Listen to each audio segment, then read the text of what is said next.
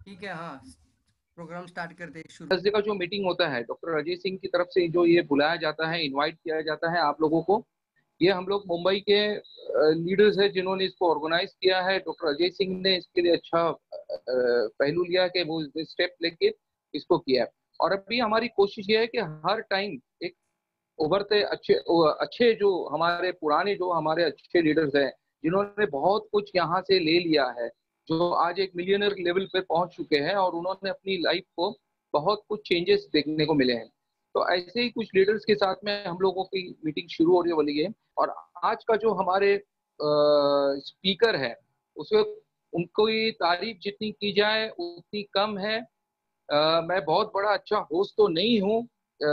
वैसे तो आप जानते ही हैं डॉक्टर सारंग को लेकिन यहाँ पर मैं ये कहना चाहूँगा कि प्रवीण सालुंके जी जो आज के हमारे स्पीकर है उनके बारे में जितना कहा जाए उतना कम है क्योंकि इन्होंने जो अपनी शुरुआत की थी वो एक आईटीआई से पास होने के बाद में अपने एक छोटे से कंपनी में वर्कशॉप से फिर बाद में सेंट्रल गवर्नमेंट की जॉब ले ली और से, से, उस, उसी दौरान में उनके पास में हमारा डीएक्सएन आ चुका था और डीएक्सएन को उन्होंने इतना ग्रोथ कर लिया कि सेंट्रल गवर्नमेंट की जॉब से रिटायरमेंट होके वो आज एक एंटरप्रेन्योर बन चुके हैं। और अच्छी डीएक्सएन के टॉप लीडर्स में, क्योंकि उन्होंने अपनी जो हासिल सफलता हासिल की आज के दौर में, वो जो स्टेटस पे है, वो एग्जीक्यूटिव ट्रिपल क्राउन डायमंड के स्टेटस पे है और बहुत ही जल्दी वो क्राउन एम्बेसिडर के पोस्ट पर जाने वाले हैं। यहाँ पे कहना चाहूँगा कि प्रवीण जी ने अपनी जो शुरुआत की थी, वो पूना सतारा के, वो बेसिकली है, पूना में आए थे और पूना से उन्होंने एक बाइसिकल से शुरुआत की थी और आज अलग दूसरी दूसरी प्रॉपर्टीज़ के साथ साथ में एक मर्सिडीज लेके वो घूम रहे हैं तो we can say like bicycle से उनकी जर्नी शुरू हुई थी। मर्सिडीज पे रुकी नहीं है और बहुत ही जल्दी उनका एक अपना सपना है जो उन्होंने कुछ चंद दिन पहले हमारे साथ शेयर किया था प्रोफेसर के साथ कि वो अपना एक हेलीपैड बनाना चाहते हैं और हेलीकॉप्टर को उठाना उस पर उतारना चाहते हैं। उनके इस कामयाबी के पीछे वो कहते हैं कि इसमें बहुत बड़ा नेचुरली ऊपर वाले का तो हाथ है ही उनके पीछे, उनके माता पिता का है ब्लेसिंग है उसके साथ, लेकिन उनकी जो बेटर हाफ़ है आरती सालुम के मिसेस आरती सालुम के। उन्होंने इसको इन मकाम पे लाने के लिए बहुत हेल्प किया है and we wish them all the best कि वो बहुत ही जल्दी क्राउन एम्बेसिडर की तरफ़ चले जाए और वो अपना हेलीपैड भी लाए ताकि हम भी उनके साथ में हेलीकॉप्टर में घूमे। और आज का जो उनका टॉपिक है customer handling techniques and selling skill कि हमें किस तरीके से कस्टमर को हैंडल करना है और जो सेलिंग की स्किल क्या होनी चाहिए। इस बारे में वो हमारे साथ ज़्यादा अपने जो वीव्स है और अपनी जो स्लाइड्स है, उस प्रेजेंटेशन के द्वारा अपने साथ उनके वीव्स को हमारे साथ शेयर करना चाहेंगे। तो ज़्यादा वक्त नहीं लेते हुए मैं Mr Praveen Salunke ji executive executive triple crown diamond को आपके सामने पेश करना चाहता हूँ, जो अपना ये प्रेजेंटेशन दे के आज हमारी भी कस्टमर हैंडलिंग टेक्निक्स की जो भी कमियाँ है उसको दूर करेंगे और सेलिंग स्किल्स में हमें मदद करेंगे। So welcome Mr Praveen Salunke thank you thank you doctor Firoz Sarang ji thank you thank you sir thank you thank you sir मैं तो आपको बहुत चाहता हूँ और एक्चुअली बहुत ही आपकी मतलब रिस्पेक्ट भी बहुत ज़्यादा है क्योंकि पहले से ही हमने आपको बहुत फॉलो किया हुआ है और आज आपने मेरा थैंक यू थैंक यू बहुत अच्छा लगा sir this is my proud feel sir thank you sir thank you thank you thank you और सबसे पहले मैं अजय सिंह मिस्टर श्याम सर इन सभी लोगों को मिस्टर अपने एस एम मिश्रा सर सभी लोगों को मैं थैंक यू कहना चाहता हूँ कि अपॉर्चुनिटी मुझे आज आपने दिया है मुंबई का डायस पे मेरा ये प्रेजेंटेशन देने के लिए। तो सबका मैं शुक्रगुजार करते हुए ये प्रेजेंटेशन की स्टार्ट करता हूँ। मेन प्रेजेंटेशन जो है अभी आपके सामने है ये तो पहला ही स्लाइड आप देख रहे हैं और आप डॉक्टर फिरोज सारंग सर ने आपको बताया ही। कि एक साधारण से असाधारण कैसे बना जाए तो ये सिर्फ़ और सिर्फ़ डायरेक्ट सेलिंग का ही बड़ा पावर इसके अंदर आता है। डायरेक्ट सेलिंग इंडस्ट्री का ये तो पावर है कि जिसकी वजह से एक साइकिल पे बैठा हुआ आदमी अपनी लाइफ में पाँच कार बदल कर पांचवी कार मर्सिडीज बेंज भी लेता है। यार लोग दस साल में अपना खुद का एक टू व्हीलर नहीं चेंज कर पाते, लेकिन बिकॉज़ ऑफ़ दिस इंडस्ट्री हमने हर दो साल में एक नई कार परचेस करके आगे बढ़े हैं। और ये सिलसिला और भी आगे बढ़ता ही रहेगा और चलता ही रहेगा। तो सबको और सभी ऑडियंस को, जितने भी लोग अभी मुझे सुन रहे हैं, सबको मैं वेलकम करना चाहता हूँ आज की प्रेजेंटेशन में। आप पूरी तरीके से स्टार्ट टू एंड इस प्रेजेंटेशन में कंटिन्यूसली बरकरार रहिए। मोबाइल फ़ोन सामने रखिए चाहिए तो वीडियो ऑन रख सकते हैं। अगर आपको आवाज़ की क्लैरिटी बहुत अच्छी आ रही है, आप वीडियो ऑन रखकर एक जैसे मीटिंग हॉल में बैठते वैसे मीटिंग सुनिए। ऐसा मत करिए कि मोबाइल किधर साइड में रखा है, सिर्फ़ आवाज़ तो कान में आ रही है, कुछ मोबाइल में देखा नहीं जा रहे हैं। तो चाहिए तो आप चैट बॉक्स का इस्तेमाल ज़रूर कर लीजिए। चैट बॉक्स के अंदर हम बात करेंगे। अगर आपको कुछ सवाल पूछना है तो मैं डायरेक्टली मीटिंग में, क्योंकि ये जो इंटरेक्टिव सेशन होता है, इसके अंदर सवाल बहुत इंपॉर्टेंट होते हैं। तो कुछ सवाल भी मैं इस चैट बॉक्स के अंदर से आपको पूछूँगा। आप चैट बॉक्स में ही इसका जवाब देना, क्योंकि हम डायरेक्टली तो बात नहीं कर सकते। आमने सामने तो बैठे नहीं है, लेकिन आप ये चैट बॉक्स का बहुत पूरी तरीके से इस्तेमाल करना है, सर। तो चलिए प्रेजेंटेशन को स्टार्ट करते हैं। सबसे पहले जिनकी वजह से आज डीएक्सन इंडिया में शुरू हुआ है प्रोफेसर वसुपाल सर। और डॉक्टर रत्ना मैडम, जो कि हमारे विश्व गुरु हैं और गुरु पिता हैं, जिनके द्वारा अभी पूरे ऑल इंडिया में एक ही सिस्टम के अंदर डीएक्सन को लाया जा रहा है। ऑल इंडिया में एक ही सिस्टम को बिठाया जा रहा है, ताकि एक डुप्लीकेशन प्रोसेस को और आसान किया जा सके। तो मैं professor Vasupal sir, doctor Ratna madam, doctor S Ranjan sir और के के अग्रवाल सर, जो कि आचार्य है हमारे सबके, इन सभी का मैं यहाँ पे एक उनका सम्मान और उनको मेरा प्रणाम करते हुए प्रेजेंटेशन की शुरुआत करता हूँ। मित्रों आज का जो टॉपिक बहुत ही अच्छा है और ये मेरे लिए बहुत ही खास और स्पेशल टॉपिक है आज तक का मेरे लिए। क्योंकि कई लोग डीएक्सएन में आते हैं, इस इंडस्ट्री के अंदर तो आते हैं, लेकिन जब वो कस्टमर के सामने जाते हैं और कस्टमर के सामने नेम एग्जैक्टली करे क्या? कस्टमर को कैसे शुरुआत करें? या फिर इस इंडस्ट्री में हम कैसे आगे बढ़े? इसका मेन जो आता है वो फ़ील्ड में काम करना। और फ़ील्ड में कई सारे लोगों के लिए दिक्कतें आती है। कुछ लोग सवाल पूछेंगे, कहीं से शुरुआत करना है कैसे मुझे प्रोडक्ट की पोजिशनिंग करनी है, कई सारी चीज़ें आती हैं और इसके अंदर कुछ लोगों को इसकी पूरी जानकारी नहीं होने के कारण जैसे उनको पता होता है, वैसे वो बताने की कोशिश करते हैं। तो कोशिश करेंगे सेलिंग स्किल के अंदर हम पूरी जानकारी आपको देने के लिए। तो पूरा प्रेजेंटेशन आपके लिए बहुत महत्वपूर्ण रहेगा। जैसे कि हम सेल्स की बात करते हैं तो डायरेक्ट सेल्स इंडस्ट्री कहा जाता है। ये भी एक प्रोफेशन है। डायरेक्ट सेलिंग इंडस्ट्री ये अभी जो हम बात करें तो जो लोग करोड़पति बनते हैं, जिनके पास एक एक हज़ार लोग, जिनके एम्प्लॉयज़ होते हैं, या फिर जिनके कम से कम चार, पाँच, दस प्लांट होते हैं, ऐसे लोगों की जो लाइफस्टाइल है, वही लाइफस्टाइल इस इंडस्ट्री के कारण एक आम इंसान जीवन जी सकता है। इसीलिए हमने ये लाइन आपके सामने रखा है डायरेक्ट सेलिंग इंडस्ट्री आने वाले भविष्य की सबसे ज़्यादा करोड़पति बनाने वाली यूनिवर्सिटी है। इसका आपको जो हम बोलते प्रूफ मिलेगा इसका फुल प्रूफ प्लान भी मिलेगा, आने वाले दस साल के अंदर आप कितना करोड़ रुपया कमा सकते हैं, ये भी आपको आज प्लान मिलेगा। बट ये टॉपिक ज़रूर आपको देखना है आज रात, आज शाम सात बजे के आरबीसी चैनल के अंदर मिस्टर प्रिय रंजन सर के द्वारा दिया जा रहा है। बहुत बड़ी प्लानिंग इसके पीछे है और आने वाले 12 साल का माइंड सेट बनाकर इस बिज़नेस के अंदर आना है आपको। तो ये बहुत बढ़िया है हम सब लोग आने वाले समय में करोड़पति बनना चाहते हैं। सो so, अगर आप यस बोल सकते हैं आप बोल सकते हैं क्या आप लोग करोड़पति बनना चाहते हैं? ज़रूर मुझे चैट बॉक्स में लिखना है सबने। मैं यहाँ पे एवरीवन करता हूँ मैं आपका सबका चार्ट पढ़ रहा हूँ। तो इसको इंटरेक्टिव सेशन कर लीजिए ताकि आप भी मेरे साथ बने रहें। तो क्या आप लोग आने वाले समय के लिए करोड़पति बनना चाहते हैं? यस यस कोल्हापुर से श्रद्धा वाडेकर मिश्रा जी सब yes yes yes yes yes Avdhoot ji doctor Sarang yes yes yes very good very good सब लोग सब लोग सब लोग, तुरंत फास्ट फास्ट फास्ट ज़्यादा ज़्यादा समय नहीं अपने पास फास्ट जाना है अपने को। सब लोग इंटरेक्ट करना है सेशन के अंदर। Yes yes Mane sir yes yes Suraj very good तो सभी लोग आने वाले समय में करोड़पति बनना चाहते हैं। हम सबका एक ही मकसद है, हम आने वाले समय में अपने सारे सपने पूरे करें। थोड़ा इस इंडस्ट्री की हम जो भी ग्लोबल मार्केट बात करते हैं या फिर जो एक स्टैटिस्टिक्स होती है, जो ग्लोबल स्टैटिस्टिक होते हैं, वो मैं आपको दिखाना चाहता हूँ स्लाइड के अंदर, ताकि ये पता चले, ये कोई साधारण चैन मार्केटिंग या फिर कोई स्कीम स्कैम पिरामिड नहीं है दोस्तों। अगर देखा जाए तो पूरे वर्ल्ड का मैप आपके सामने लेकर हैं, ये दिखाया जा रहा है यूनाइटेड नेशन का जो पूरा दिखाया जाए तो डायरेक्ट सेलिंग का पूरा टर्न अभी बीस लाख करोड़ के ऊपर चला गया आप एक पेपर पे बीस लाख लिखिए और फिर करोड़ डाल दीजिए उसके आगे, तब पता चलेगा आपको कितना बड़ा फिगर आता है। जिस इंडस्ट्री का ग्लोबल टर्नओवर 20 लाख करोड़ है तो पता लगाइए, इसमें साधारण से साधारण इंसान भी करोड़पति बन रहा है। और ये तो हम रेगुलरली हमारे आरबीसी के चैनल पे सक्सेस चैनल के अंदर सक्सेस स्टोरी चैनल के अंदर हम ये कहानियाँ सुनते आ रहे हैं कि जितने सारे लोग जिनको अनपढ़ होने के बावजूद भी आज कोई तीन लाख, पाँच लाख, कोई डेढ़ लाख, दो लाख, एक लाख, पाँच लाख, दस लाख कमा रहे हैं। बहुत बड़ी ताकत है। तो मैं दिखाना चाह रहा हूँ इस स्लाइड के माध्यम से कि पूरे वर्ल्ड में इसका शेयर कैसा जा रहा है। अमेरिका जो है डायरेक्ट सेलिंग इंडस्ट्री में बात करें तो अमेरिका का जो शेयर है, वो ट्वेंटी परसेंटेज आता है इस ट्वेंटी लाख करोड़ के अंदर। इस ट्वेंटी लाख करोड़ के अंदर अमेरिका के बाद दूसरा है, चाइना है नाइनटीन नाइनटीन परसेंटेज दिखाया जा रहा है। फिर Korea, Germany, Japan, Brazil, Mexico, France, Malaysia United Kingdom and others India कहाँ पे रहे? जिस कंट्री का पॉपुलेशन वर्ल्ड में पॉपुलेशन के अंदर हम नंबर टू पे आते हैं कहाँ पे है आपका इंडिया? कहाँ है हमारा भारत? क्यों नहीं है इसके अंदर? इसका एक ही कारण है, सिर्फ़ एक ही कारण इसका है, ये सोच। यही कारण है। सोच मतलब क्या है? लोगों को अभी भी इसकी पूरी ताकत और इस इंडस्ट्री की ताकत का पता अभी भी चला नहीं है, सर। अभी भी वो बुनियादी ज्ञान बोला जाता है। अभी भी कई मिथ्या लोगों के अंदर है। डायरेक्ट सेलिंग बोला जाए तो वो बोलते हैं हाँ अच्छा अच्छा वो एमएलएम बनाने, वो मेंबर बनाने वाली स्कीम है क्या? अच्छा अच्छा ओके डो मेंबर जोड़ना है ऐसा हो तो मुझे मत बताओ। ऐसे लोग आज भी बोलते हैं सर नो तो सब लोग हम देख रहे हैं यहाँ पे।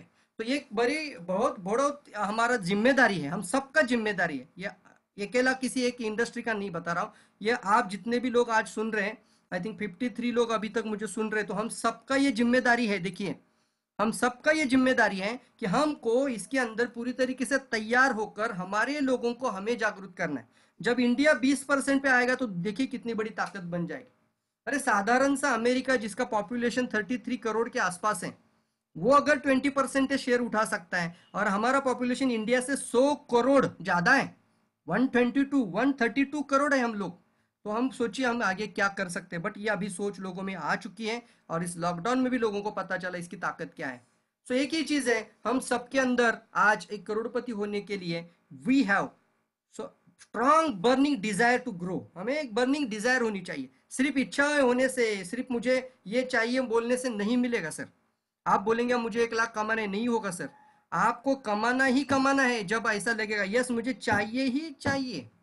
मुझे किसी भी हाल में चाहिए। तो ये जब आता है, उसको बोलते हैं बर्निंग डिज़ायर तो ये जब बर्निंग डिज़ायर हमें सबके अंदर होना ज़रूरी है, और वो बड़ा बनने की, बड़े सपने हासिल करने की, ये सब हमारे अंदर होना चाहिए। और इसी के साथ साथ हम बात करते हैं, जब ये बर्निंग डिज़ायर भी हमारे पास होती है, हम प्लान भी करते हैं, हम काम भी करना शुरू करते हैं, लेकिन कुछ skill set skill set program होते हैं, जब हम एग्जैक्ट लोगों के सामने जाते हैं, वहाँ पे हमें कई लोग पंक्चर कर देते हैं। यस और नो आपको समस्या आती है कि नहीं आती? मुझे बताइए, जब आप सेल्स के लिए बात करते हैं प्रोडक्ट के बारे में बात करते हैं, ये मैं आपको क्लियर करना चाहूँगा कि सेल्स का मतलब ये नहीं कि सिर्फ़ प्रोडक्ट सेल करना। सेल्स का मतलब ये भी है कि लोगों के मन को जीतना लोगों को अपना बनाकर उनको अपनी टीम में लेकर आना, ये बहुत बड़ी बात है। तो ये है, सेल्स का मतलब है, या तो वो आप डिस्ट्रीब्यूटर बना सकते हैं या फिर उनको कंज्यूमर बना सकते हैं। लेकिन मार्केट में जब आप काम करते हैं, आपको समस्याएँ आती है यस और नो यस में या नो में आप लिखिए, जो जो आपको लगता है, मार्केट में समस्या आती है या नहीं आती है। लिखिए, पटपट लिखिए, फास्ट लिखिए सर। आपको समस्याएँ को, दिक्कतों का सामना करना पड़ता है या नहीं करना पड़ता है? लोग आपको बात करने से तुरंत हाँ बोलते हैं या नहीं बोलते हैं, कितने लोगों को प्रॉब्लम आ रही है? प्रॉब्लम आती है, सबको आ रही है right yes yes yes yes तो यहाँ पे देख रहे हैं हम, हमारे सामने एक ही चीज़ है, हम फ़ील्ड में जब जाते हैं ना, तब हमें एग्जैक्ट प्रैक्टिकल जब काम करते क्योंकि ये पेपर पे देखना प्लान देखना या फिर किसी मोटिवेशनल लीडर या ट्रेनर को सुनना एक अच्छी बात होती है। लेकिन एग्जैक्ट फ़ील्ड में जाने के बाद एक चीज़ होती है, और वो होती है customer handling techniques yes customer यानी प्रोस्पेक्ट्स आपके प्रोस्पेक्ट को एक टेक्निक होता है, उस टेक्निक के द्वारा हमें कुछ स्किल होती है और वो स्किल सेट होना बहुत इंपॉर्टेंट है। इसी का टॉपिक का नाम है the selling skill the selling skill customer handling techniques and the selling skill यही मेरा आज का मेन टॉपिक है और ये बहुत ही इंपॉर्टेंट और खास टॉपिक रहेगा। आपको एग्जैक्टली exactly मैं फ़ील्ड में लेके जाऊँगा। बातों बातों में फ़ील्ड में लेके जाऊँगा फ़ील्ड में जो जो आपको समस्याएँ आती है, उससे रूबरू करा दूँगा। और आप भी अगर मुझे कुछ समस्या आपको लग रही है तो आप मुझे डायरेक्टली कमेंट में भी लिख सकते हैं, सर हाँ ये मुझे भी प्रॉब्लम आता है। मैं पूछूँगा कुछ सवाल तो आप डायरेक्टली कमेंट में पूछ सकते हैं। मैं कमेंट आपका चार्ट कंटिन्यूसली पढ़ रहा हूँ। ठीक है, मैं इसको एवरीबडी कर चुका हूँ। ओके एवरीवन कर दिया है। तो आप जो भी लिखेंगे, मुझे सबका दिख रहा है राइट तो सबसे पहले ये तीन फैक्टर इवेल्युएट करते हैं इंडस्ट्री को। जब भी हम बिज़नेस स्टार्टअप करते हैं, जब भी हम लोगों में चले जाते हैं, हम बिज़नेस को लेकर आगे बढ़ते हैं तो ये तीन पीस बहुत इंपॉर्टेंट है। सबसे पहले हमें जानना ज़रूरी है, हम किन लोगों के साथ, लोगों का मतलब पीपल कौन है?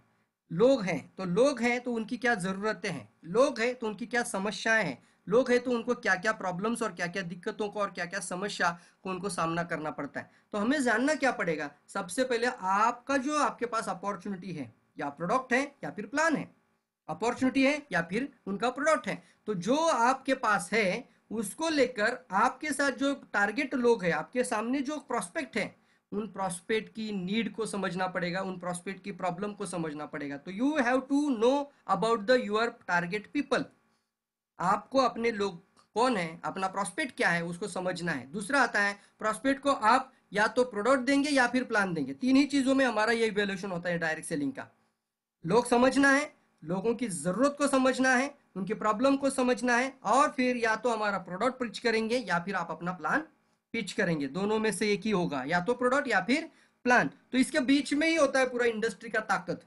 तो आपको ये समझना बहुत ज़्यादा ज़रूरी है, तीन पी के अंदर। ये समझ कर आगे बढ़िए। तो इसके लिए मैं एक स्ट्रैटर्जी और एक फ्रेमवर्क आपको देना चाहता हूँ आज की प्रेजेंटेशन में। आप इसको नोट कर लीजिए। पीएसपी स्ट्रैटेजी बोल देते इसके आप। PSP what is mean by PSP PSP formula PSP strategy PSP PSP मतलब क्या है? पी यानी प्रॉब्लम प्रॉब्लम यस यानी सॉल्यूशन और यानी पी यानी प्रोसेस प्रॉब्लम सॉल्यूशन प्रोसेस तो यहाँ पे क्या होता है? पी यानी प्रॉब्लम तो हमें करना क्या है? हम कभी भी बात करें, कभी भी इंडस्ट्री या डायरेक्ट सेलिंग में बात करें आप प्रोडक्ट की बात करें, या बिज़नेस की बात करें, आपकी और सामने वाले की प्रॉब्लम सेम है। तो आपको जब भी बात करना है तो किसी न किसी प्रॉब्लम को सॉल्व करते हैं। हमेशा और पूरी तरीके से इसको हमेशा ध्यान रखिए। कई लोग आप इस इंडस्ट्री में आने के लिए रुकते हैं, उनको लगता है कि इस इंडस्ट्री में आने के बाद मुझे बेचना पड़ेगा। यस और नो सबको लगता है, बेचना पड़ेगा क्या? कुछ लोग आपको ये भी पूछते हैं सवाल, सर, ये बेचने वाला काम हम नहीं करेंगे। हमें बेचना पसंद नहीं है यह बेचने का काम है तो मुझे अच्छा नहीं लगता। उन लोगों के लिए मैं यहाँ पे एक आंसर देना चाहता हूँ आप, मैं और सभी लोग यहाँ पे सेल्समैन नहीं है सर सेल्समैन और एग्जैक्टली exactly प्रोफेशनल के अंदर बहुत डिफरेंस है। हम लोग क्यों है डीएक्सन के अंदर? हम लोग प्रॉब्लम फाइंडर हैं। हम लोग प्रॉब्लम का सोल्यूशन देने के लिए यहाँ पे हैं। आप सब लोग।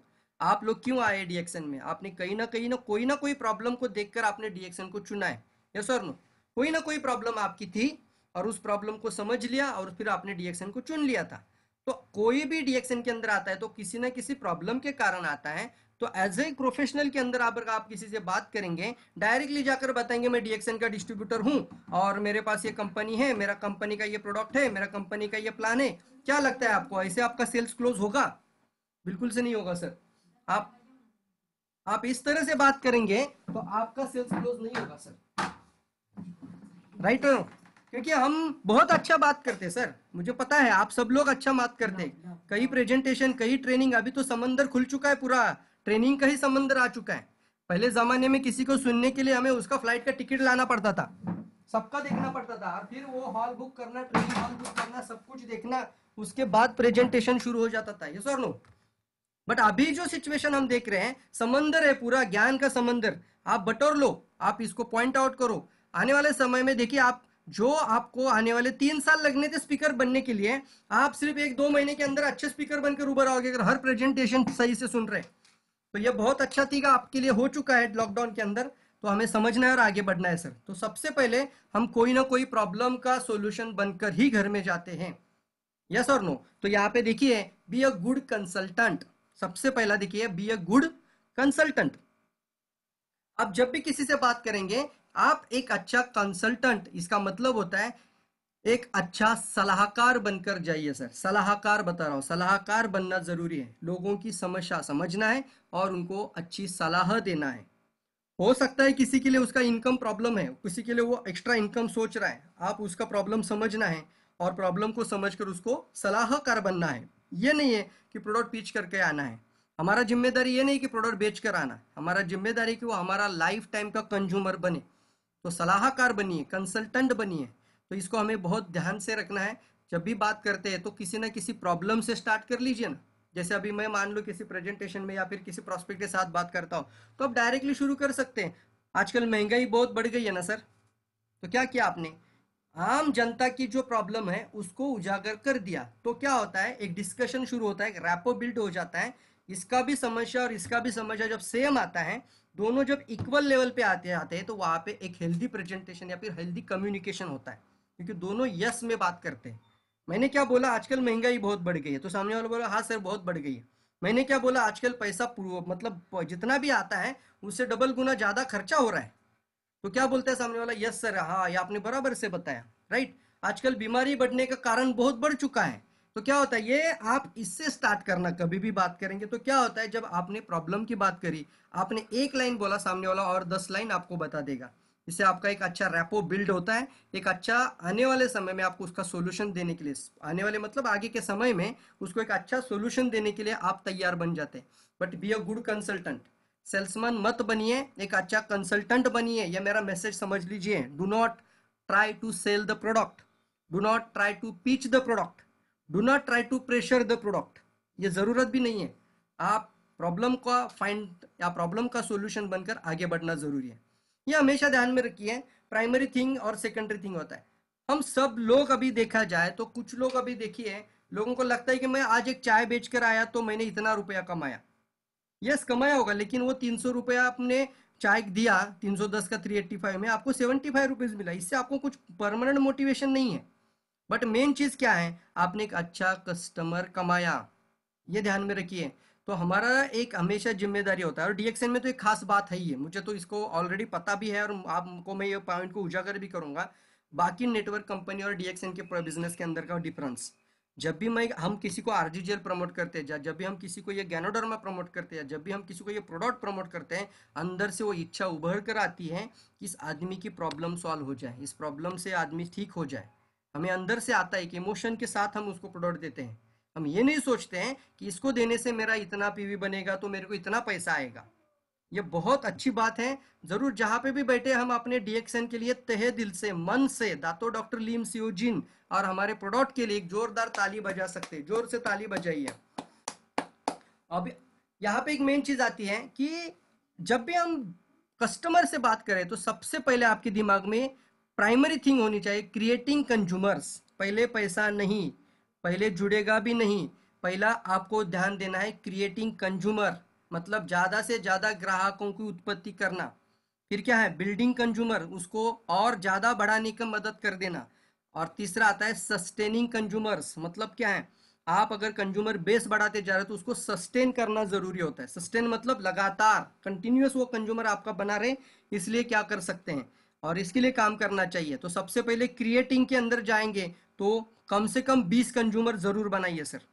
कम से कम अगर 20 कंज्यूमर आपके पास है तो आप साढ़े तीन हज़ार नहीं सर, पाँच हज़ार पी भी कर दोगे। लेकिन पहला तो ये स्टेप है ना 20 कंज्यूमर क्या आपके पास है। और सारे के सारे लोग तो बिज़नेस के लिए नहीं आते हैं, सारे के सारे लोगों को पैसा भी नहीं चाहिए। आप किसी को बोलेंगे, ये बिज़नेस बहुत अच्छा है, वो बोलता है ये बिज़नेस की मुझे ज़रूरत नहीं है, मुझे ये मत बताओ, मेरे पास समय नहीं है, मेरे को ये जमता नहीं है, मेरा काम नहीं है, या मैंने कभी किया नहीं है। इस तरह से बातें करते कि नहीं करते लोग? ये सर नो तो इस समय पे आपका ज़िम्मेदारी बनता है कि अगर सामने वाला कुछ ना ना ना जैसी बातें बोल रहा है तो आप इसको कंज्यूमर बनाओ। सिर्फ़ कंज्यूमर की बात करके आओ। देखो, चल, आप जुड़ना नहीं है, बोलो सीधा। डायरेक्टली ये बोलेंगे तो बहुत अच्छा लगता है किसी को। जो निगेटिव है, आपको पता है कि नेटवर्क मार्केटिंग से ये बहुत निगेटिव है, या फिर उसको डायरेक्ट सेलिंग या उसको पता भी नहीं कि इंडस्ट्री की पावर क्या है, वो जानता भी नहीं है, जानना भी नहीं चाहता है। इसको डायरेक्टली आप बोले ना ऐसा सर मैं आपको ना ही जोड़ने को आया हूँ, ना ही मैं आपको चाहता हूँ कि आप डीएक्सन के अंदर ज्वाइन हो जाओ।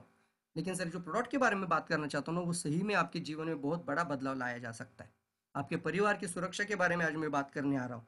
इस तरह से बात करना शुरू कर दीजिए। आपका हंड्रेड परसेंट वो वेलकम ही करेगा, क्योंकि आप उसको पीछे नहीं पड़ रहे हो। वो अपने आप को एक डिटैच करता है अपने आप को। अरे यार, ये मेरे को पीछे नहीं आ रहा है मेरे ज्वाइन हो जाओ, जोड़ी हो जाओ, ये फॉर्म भरो, मेरा मेंबर बन जा। ऐसा बोलने से भी लोग घबराते हैं आजकल, right?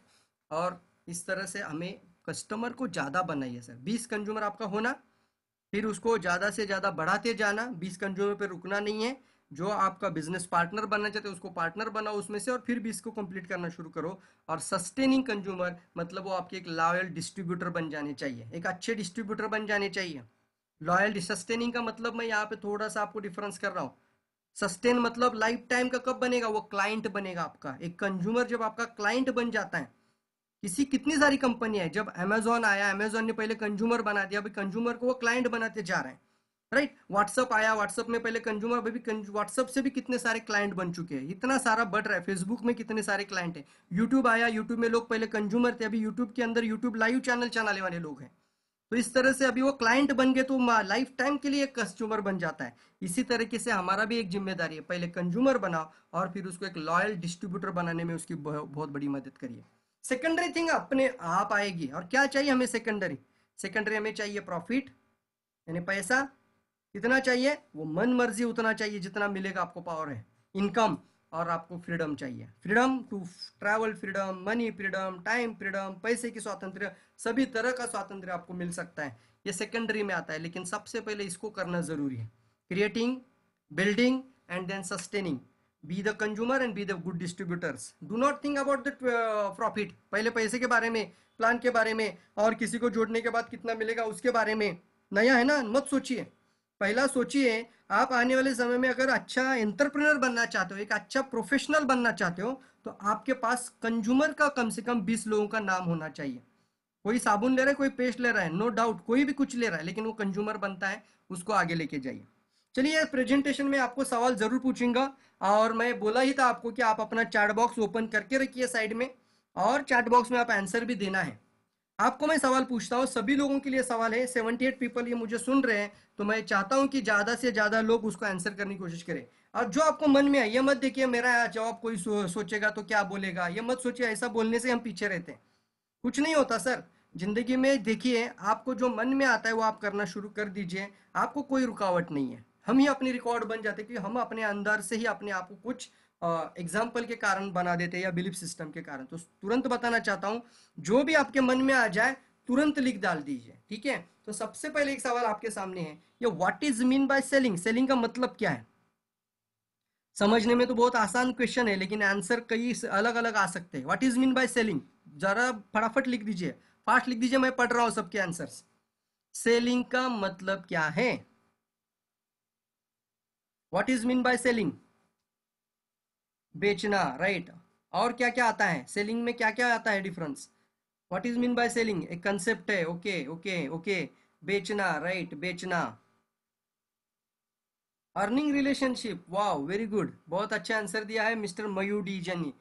Giving information about our product okay right right what is mean by selling plan promotion plan को देना right okay very good very good बहुत बढ़िया. Making new customers. Selling is a rejection of job. Wow. Okay, understand the people, relationship. Super. Customer satisfactions. देखिए अभी कितने सारे हमारे लोग कितना बढ़िया आंसर दे रहे हैं। बहुत बहुत बढ़िया बहुत बढ़िया। What is mean by selling देखिए ये तो इतना बड़ा वर्ड है ना, इसके पीछे बहुत सारा आपको मिल रहा है इसके नीचे। अभी हम आपको बता रहे हैं व्हाट इज़ सेलिंग है? सेलिंग में अगर एखाद्या वस्तूचे महत्व पटवून ती टिकवणे वाव आपण नॉलेज शेयर करने। Okay very good knowledge share करने। सेलिंग का आपको एक आसान का एक लैंग्वेज में, अगर समझ में आ जाए तो तुरंत समझ में भी आ जाए आपको, एक अलग डेफिनेशन आपको बताना चाहूँगा यहाँ पे। सेलिंग, अब ये भी एक बात आती है ना इसमें कि सेलिंग सुनकर भी लोगों को लगता है कि सेल्स में मुझे आना नहीं है, मुझे सेलिंग करना अच्छा नहीं लगता। कितने लोगों को अभी प्रेजेंटेशन सुन रहे हैं बट उनको सेल करना अच्छा नहीं लगता। अपना सिर्फ़ यस यस या वाई भी लिख दीजिए, तुरंत लिखना है तो सिर्फ़ वाई लिख सकते हैं। मुझे सर सेल करना अच्छा नहीं लगता। ऐसा कुछ लोग है प्रेजेंटेशन में आज। सर, मुझे नहीं अच्छा लगता सेल करना। मुझे किसी को बेचना अच्छा नहीं लगता। तुरंत बता दीजिए, कुछ दिक्कत नहीं है आप डायरेक्टली बता सकते हैं। उसका जवाब आपके सामने आ जाएगा। फास्ट लिखना अगर लगता है, मन के अंदर लगता है थोड़ा सा भी, सर, मुझे सेल्स करना अच्छा नहीं लगता। मुझे बेचना अच्छा नहीं लगता। किसी को जाके ये बोलना, साबुन पेस्ट ले लो, चाय साबुन ले लो, ये मुझे अच्छा नहीं लगता। कोई है?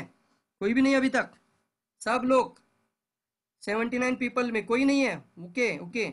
यहाँ पे एक भी नहीं है। यस यस है, कुछ लोग हैं। सर अच्छा नहीं लगता। ओके, जो भी है, मन में आता है। अच्छा नहीं लगता सर जवाब मिलेगा आपको अच्छे से। ओके, मिल रहे लोग, आ रहे है। मुझे पता है, कई लोग हैं जिनको अच्छा नहीं लगता।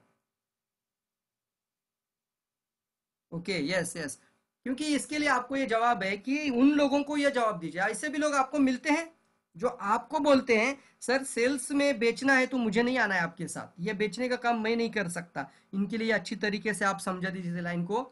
इन एग्जैक्टली सेलिंग का मतलब क्या है? What is mean by selling selling का एग्जैक्ट मतलब आता है any one who sells product services as an idea that is mean by selling selling का मतलब होता है, कोई भी एक ऐसा व्यक्ति जो प्रोडक्ट सर्विस और अपनी आइडिया शेयर करता है उसको हम बोलते हैं selling product service as an any idea कोई आइडिया भी देता है, कोई कल्पना, कोई अच्छी इंफॉर्मेशन के साथ कुछ आइडिया दे देता है।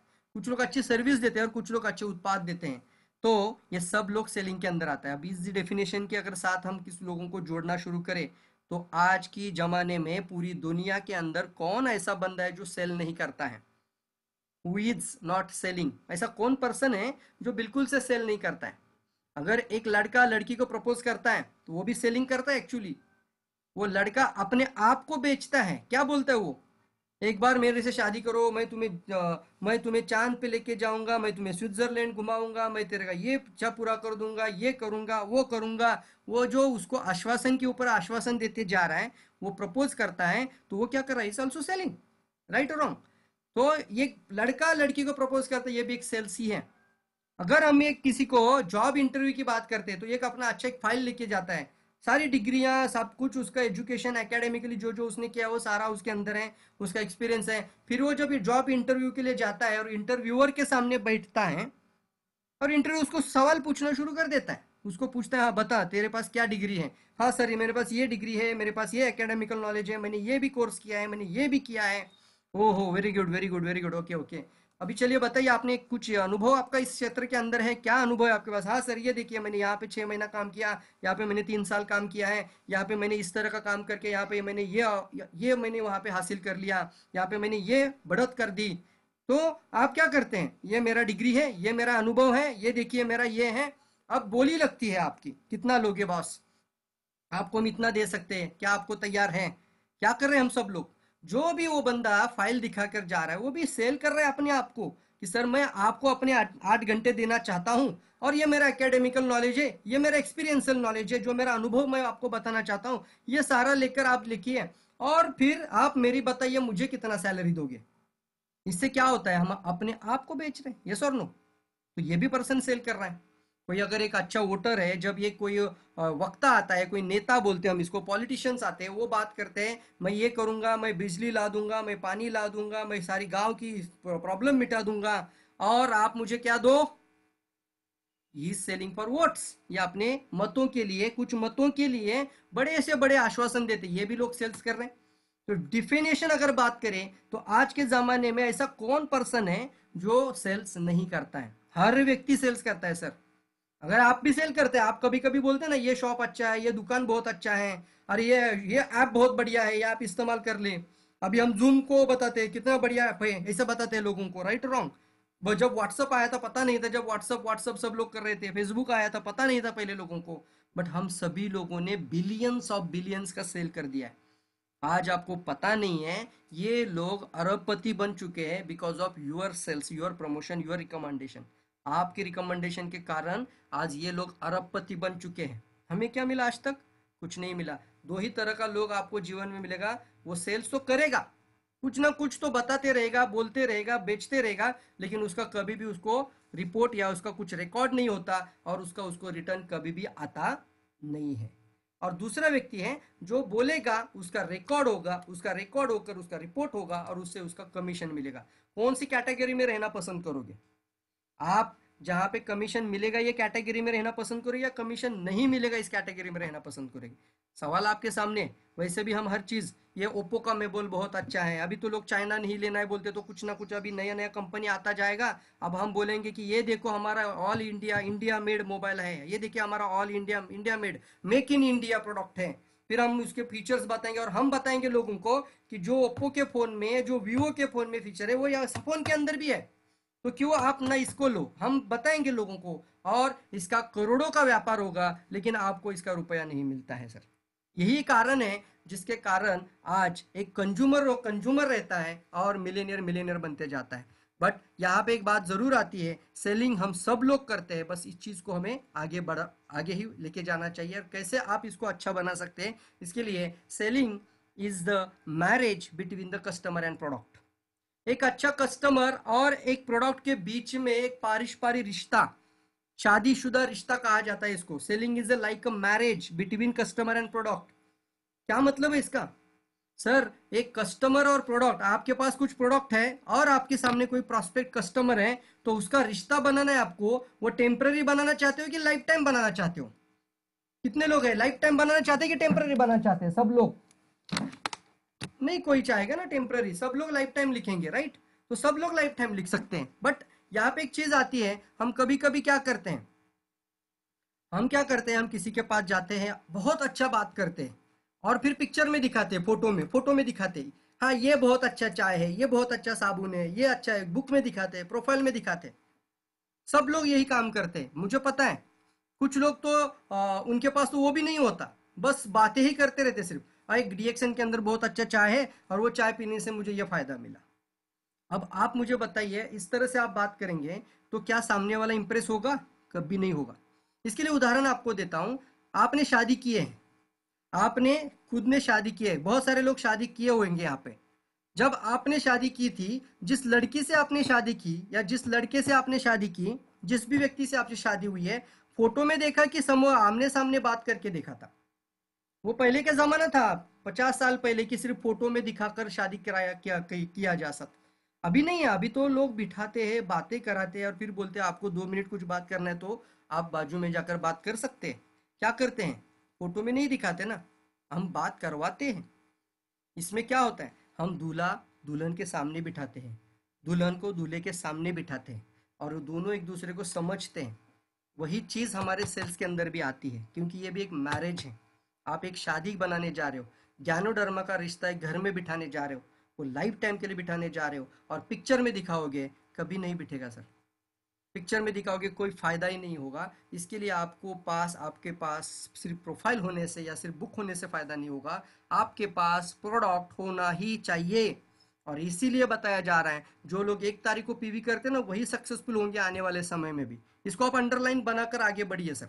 अंडरलाइन एक तारीख को जो पीवी बनाएगा, उसके पास कम से कम दस हज़ार का प्रोडक्ट रहेगा और वो आगे जाके प्रोडक्ट दिखा भी सकेगा और बात भी कर सकेगा और प्रोडक्ट उसके घर में होने के कारण वो दो ही काम होगा। वो तो बोलेगा तो मुझे खा ले या फिर मुझे बेच डाल।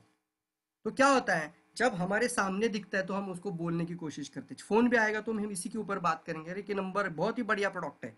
इस तरह से हम आगे बढ़ते हैं। तो सेलिंग हमेशा ध्यान में रखिए, एक शादीशुदा रिश्ता के जैसा है इसको लॉन्ग टर्म रिलेशनशिप के साथ रखना with the customer create the long term relationship बहुत अच्छा है ये। Create the long term relationship sir कई बार लोग सवाल पूछते हैं, सर, ये बहुत अच्छा लगा आपने जानकारी तो मुझे बहुत अच्छी थी मुझे कितने दिन खाना है? ये गैनोडर्मा आरजीजेल कितने दिन खाना चाहिए?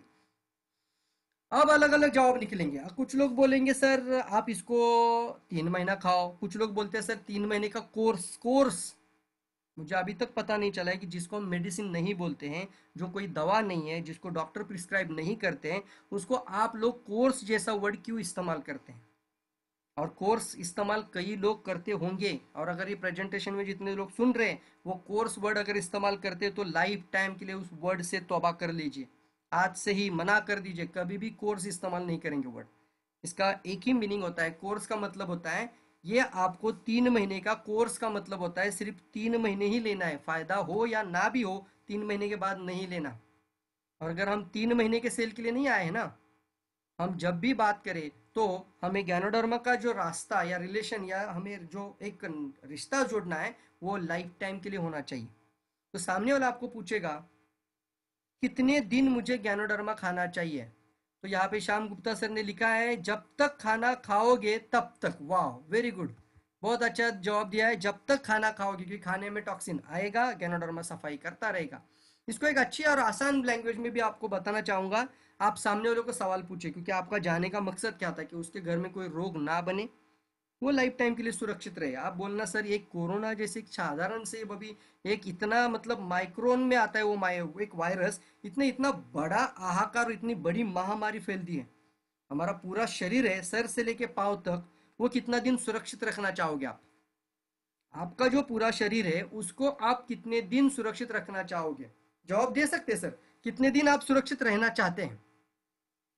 छह महीना, तीन महीना, एक साल या लाइफ टाइम ज़िंदगी भर राइट तो इसमें जवाब क्या आता है?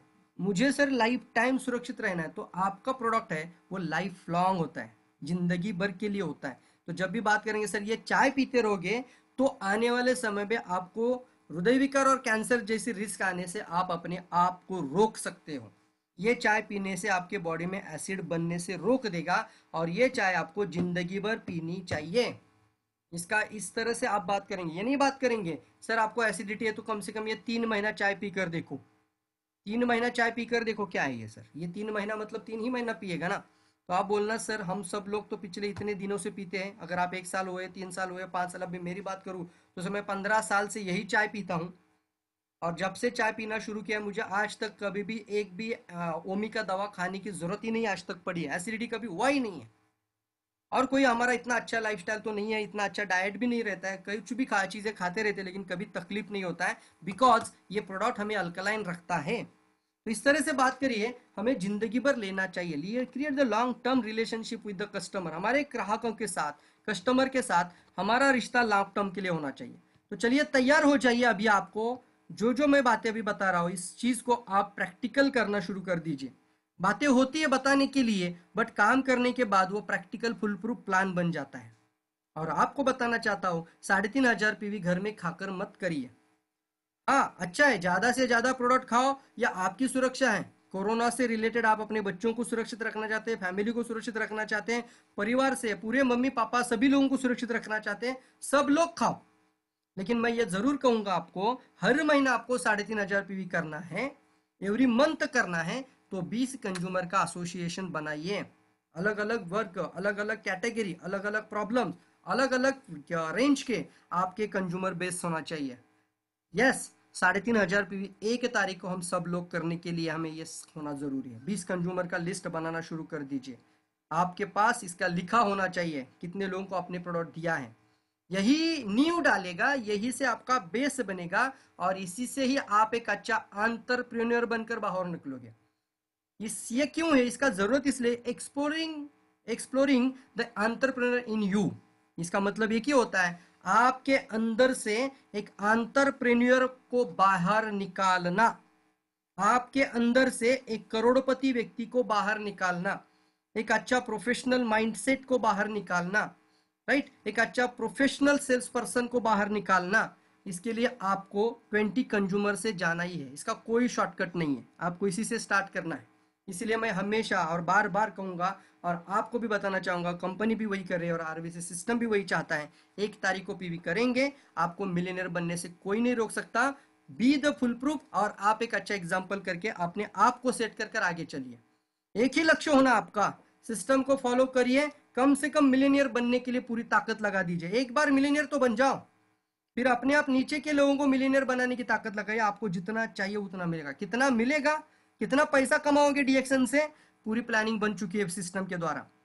और पूरा सिस्टम के साथ समझना है आज को आज शाम के पाँच सात बजे की प्रेजेंटेशन में पैसे के बारे में सिर्फ़ बात होगी। इसीलिए बत, बताया जा रहा है जितने यूथ है उनका माइंड सेट लगाना ज़रूरी है। ये माइंड सेट अभी नौकरी वाला बन चुका है उनको निकालिए और इनको लेकर आइए इसके अंदर। एक bright future bright future with DXN आने वाले 12 साल में आप अपना खुद का फाइव स्टार होटल के अंदर रहना चाहोगे? कितने लोग रहना चाहेंगे? हर हर हफ़्ते में। तुरंत लिखना, सर। मैं देख रहा हूँ आपका चैट बॉक्स मैंने क्लोज नहीं किया है। कितने लोग है यहाँ पे जो हफ़्ते में एक बार फाइव स्टार होटल में रहना पसंद करते हैं? कितने लोग seven star hotel five star hotel yes yes yes Rekha Vyas yes yes Kusum Bari yes Yogita madam yes very good yes yes very good yes Mishra ji yes yes yes हर हफ़्ते में एक बार five star hotel में जाना। Wow very good कितने लोग हैं? Five star hotel wow wow very good अब एक बात पूछता हूँ दूसरी आपको। हर महीने में एक बार फ़्लाइट में जाना कितने लोगों को अच्छा लगेगा? हर महीने में एक बार फ़्लाइट हर महीने में फ़्लाइट में जाना। वाओ वेरी गुड यस क्या बात है? किसको नहीं लगता? हर महीने में एक बार।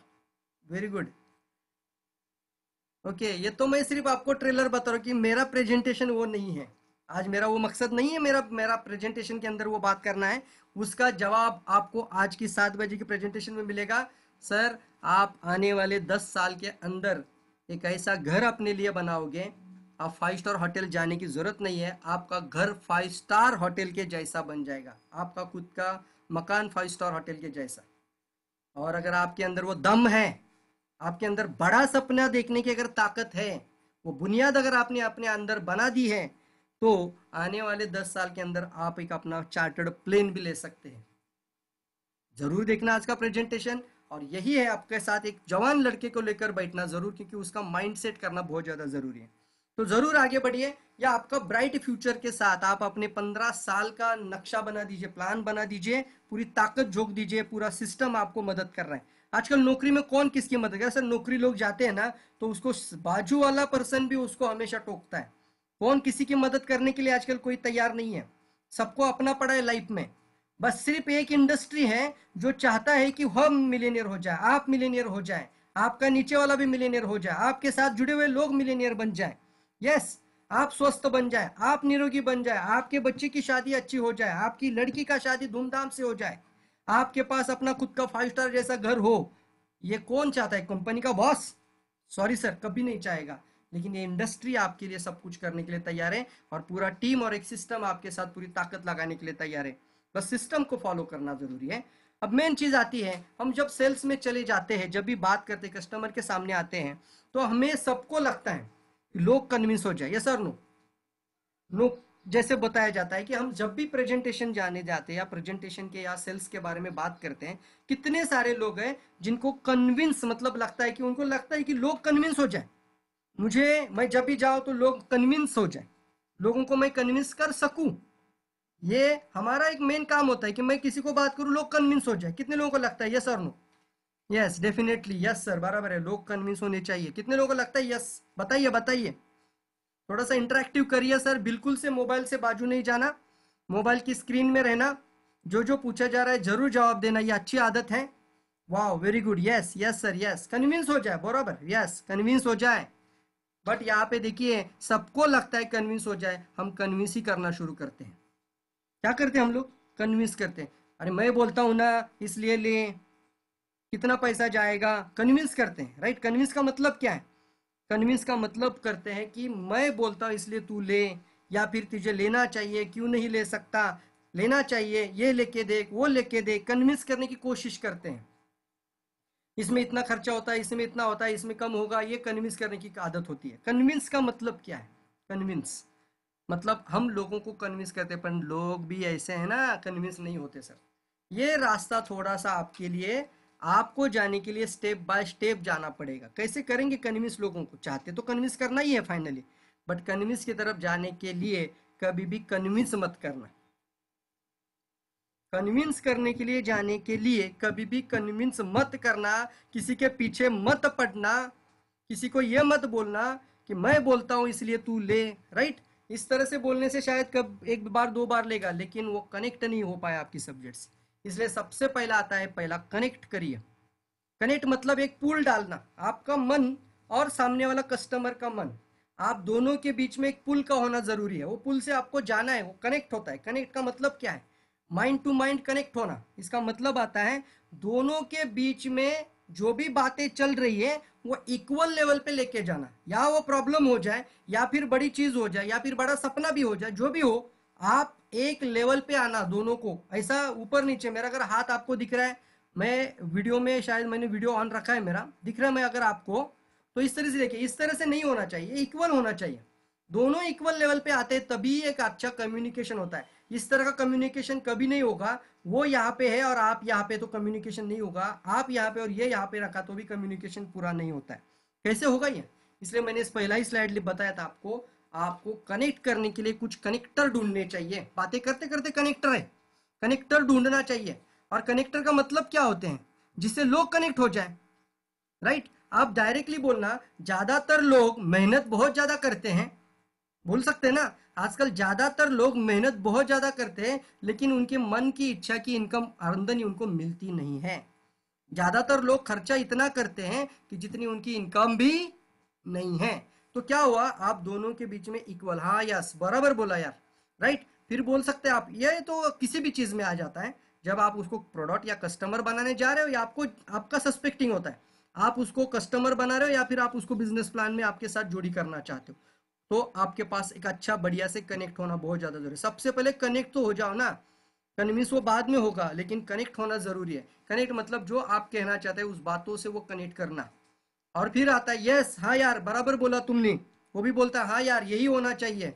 बराबर बोला तुमने। जितना जॉब में इनकम आता है, उतना बिज़नेस से आना चाहिए। एक्स्ट्रा इनकम चाहिए। कनेक्ट हो गया। फिर कन्वे करना। कन्वे मतलब क्या है? उस प्रेजेंटेशन में, उस कम्युनिकेशन में उसको अपने साथ आगे लेके जाना। और फिर अपने आप आ जाता है वो लास्ट में कन्विंस यही तीन सी हैं जो तीसरी थेरी से हमें आगे जाना चाहिए। हम गलतियाँ करते हैं, हम कन्विंस करने की कोशिश करते हैं, ये ले लो, वो ले लो, नहीं सर, ऐसे कोई नहीं लेगा। आपको कनेक्ट कन्वे और कन्विंस करना चाहिए। कुछ लोगों ने सी का भी आजकल पूरा मतलब इसको भी सी का गलत तरीका भी ढूंढ लिया है। कुछ लोग ये भी करते हैं। या तो सबसे पहले कन्विंस करो। अगर कन्विंस नहीं होता है तो कंफ्यूज कर दो। कंफ्यूज कर दो और कंफ्यूज भी नहीं होता है तो लास्ट में चीट कर दो। यही किया है कई कंपनियों ने आजकल। कन्विंस करने की कोशिश नहीं तो कंफ्यूज कर दो। कंफ्यूज मतलब कुछ समझ में ही नहीं आता है, लेकिन सिर्फ़ हाँ हाँ ये बहुत बढ़िया। तो कंफ्यूज कर दो और कंफ्यूज भी नहीं हो रहा है तो फाइनली चीट कर दो। लेकिन हमें वो थेरेपी नहीं है। हमारे लिए थ्री सी क्या आता है? पहले कनेक्ट हो जाओ, फिर कन्विंस करो और फिर लास्ट में आता है कन्विंस समझ लीजिए इस बात को और अच्छे अच्छे कनेक्टर निकाल लीजिए। आज की प्रेजेंटेशन में कई कनेक्टर आने वाले समय में आपको मिलने वाले हैं। वो कनेक्टर जहाँ मिले ना, तुरंत पॉइंट आउट निकाल लेना। भाई डायरी पेन लेकर बैठे आप, या फिर आप लिख सकते हैं चार्ट बॉक्स के अंदर। ये मुझे बहुत अच्छा कनेक्टर लग रहा है। कनेक्टर का मतलब होता है, दोनों के बीच में एक पुल डालने वाला वर्ड पावर वर्ड बोलते हैं ना पावर वर्ल्ड तो पावर वर्ल्ड का मतलब ही होता है कनेक्टर आप इसको अच्छी तरीके समझना है। तो चलिए आगे बढ़ते हैं। सेलिंग में कुछ स्ट्रैटेजी होनी चाहिए कि नहीं होनी चाहिए? मुझे बताइए, चलिए बताइए, जल्दी जल्दी बताइए सेलिंग के अंदर कुछ स्ट्रैटेजी होनी चाहिए या नहीं होनी चाहिए? फास्ट फास्ट फास्ट स्ट्रैटेजी मैं देख रहा हूँ, सबका चार्ट पढ़ रहा हूँ। यस स्ट्रैटेजी चाहिए कि नहीं चाहिए आपको? सेलिंग के अंदर स्ट्रैटेजी होती है कि नहीं होती है? ज़रूरत है या नहीं है? It should be yes yes yes yes yes wow yes yes yes strategy होनी चाहिए yes yes yes yes yes होनी चाहिए होनी चाहिए। यस देखिए सेवेंटी सिक्स लोग सुन रहे हैं, कितने लोग एक्टिव है, समझ में आता है यार। देखिए यस यस यस सबके कमेंट आने चाहिए, फटाफट फटाफट fast fast yes hundred percent Y भी लिख सकते अगर आप, तुरंत फास्ट लिखना सकते तो। Yes yes yes technique to sell very good होनी ही चाहिए।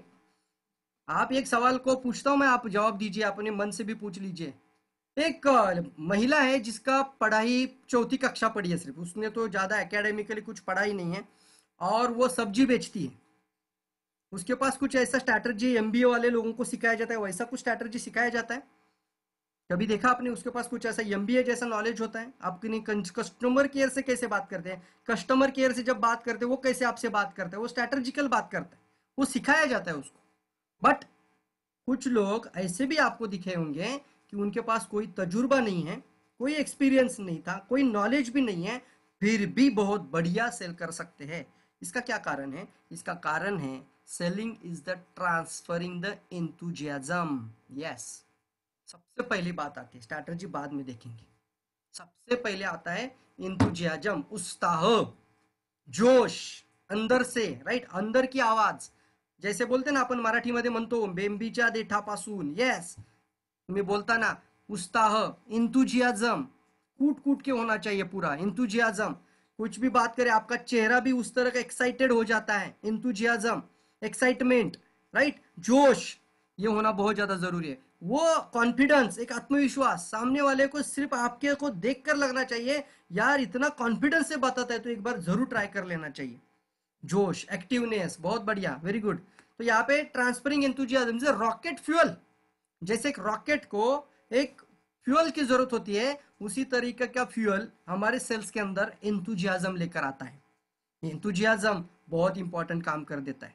सामने वाले को एक विश्वास देना जो होता है ना, वो बहुत बड़ा काम कर देता है। आप अगर किसी को बोलते हैं ना, सर, मेरे साथ आप अगर इस सिस्टम के अंदर आ जाओ, मैं आपकी मदद कर दूँगा और आने वाले सिर्फ़ एक साल के अंदर हम प्लान बनाएँगे, आपको महीने का पचास हज़ार, एक लाख इनकम कैसे करें? बट ये, इसको विश्वास देना, एक आत्मविश्वास, अंदर से आना एक्साइटमेंट के साथ आना। कॉपी की बात करें तो ये इस तरह से बात नहीं मत करना। कॉफ़ी बहुत अच्छा है और कॉफ़ी पीने से आपका एसिडिटी चला जाएगा और आपका थकान बिल्कुल भी नहीं रहेगा और आपको कभी भी आपको ऐसा मतलब आप अपने आप को वीक नहीं महसूस करोगे। तो ऐसा बोलने से क्या होगा? आप बात तो कर रहे हो वर्ड तो वही है बट क्या नहीं है एक्साइटमेंट नहीं है, बिल्कुल भी एक्साइटमेंट नहीं है। तो सुनने वाले को भी मज़ा नहीं आता यार।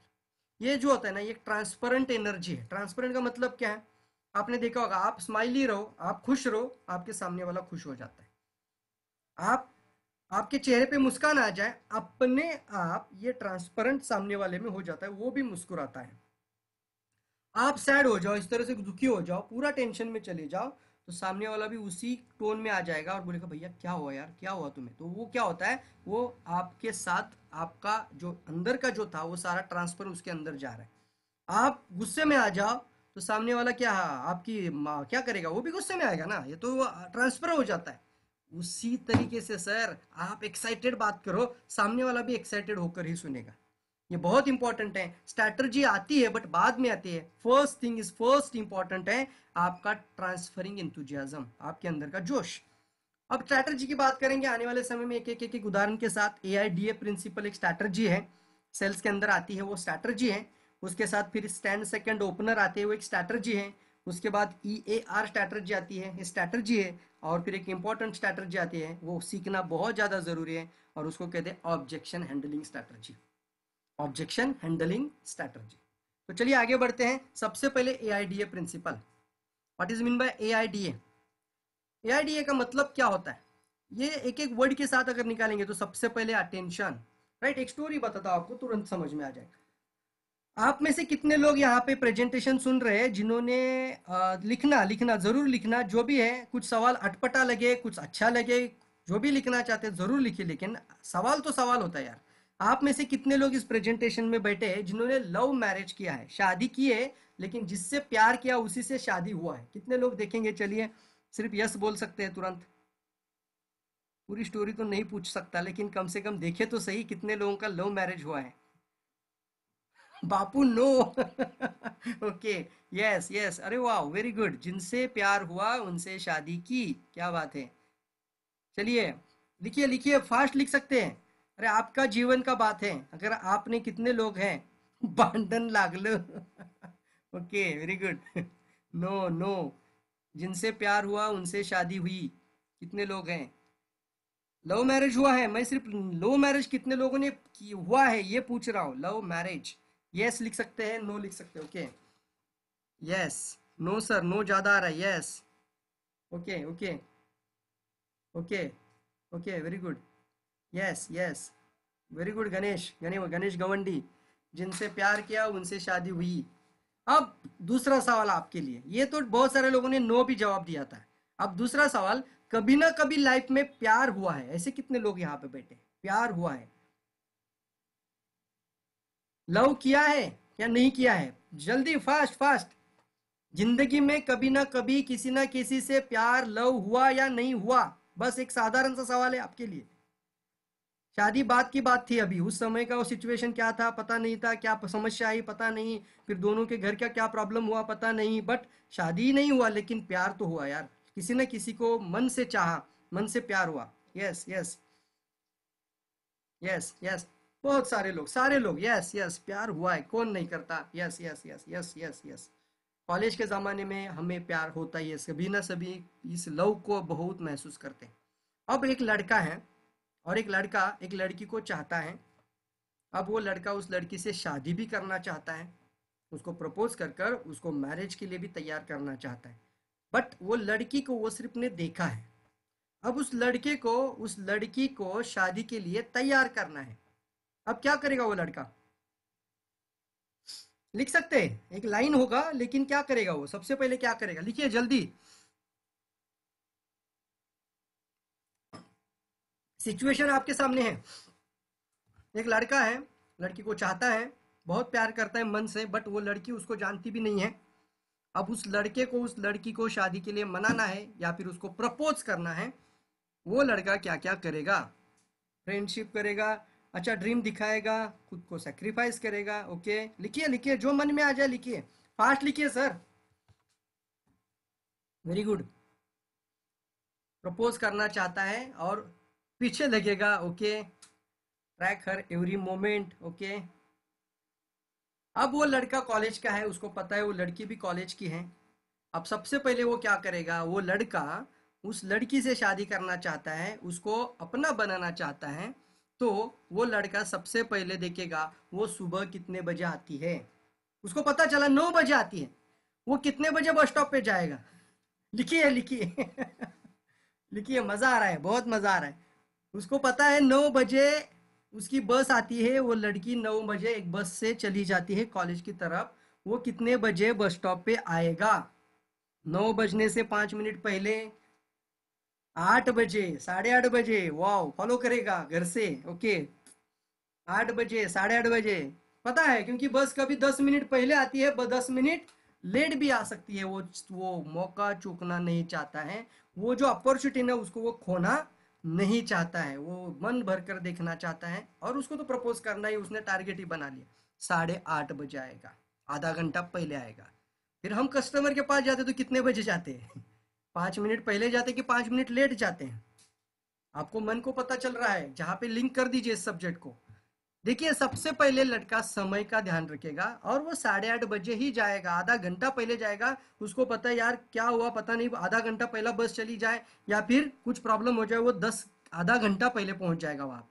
और क्या करेगा? वो कपड़े कैसे पहनेगा? वो अपना ड्रेस लुक कैसा करेगा? जिससे वो उसको इम्प्रेस कर सके। ऐसे ही कोई टी शर्ट है, कोई जींस कुछ अलग कपड़े डाले हैं, पैर में स्लीपर पहना है राइट और कोम भी नहीं किया है, इस तरह से नहीं जाएगा ना? बहुत ही अपने आप को अप टू डेट बहुत ही परफेक्ट और एक इम्प्रेसिव लुक के साथ डैशिंग लुक के साथ वो जाएगा। Hundred percent yes dashing look के साथ जाएगा। व्याओ वेरी गुड तो ये पूरा तैयारी के साथ जाएगा ताकि वो देखे तो उसका फ़र्स्ट इंप्रेशन बढ़िया पड़े, उसका ध्यान उसकी तरफ़ आकर्षित हो जाए। साथ में और एक चीज़ है वो क्या करेगा? वो एक अपने पास एक बाइक लेकर आएगा। चाहे तो उसका साइलेंसर भी तोड़ डालेगा। उस साइलेंसर से आवाज़ आता है ना ज़ोर ज़ोर से। ब्रम ब्रम ऐसी आवाज़ आती है ना। ऐसे कुछ लोग हैं उनके पास कुछ ना कुछ या हॉर्न बदल देगा गाड़ी का।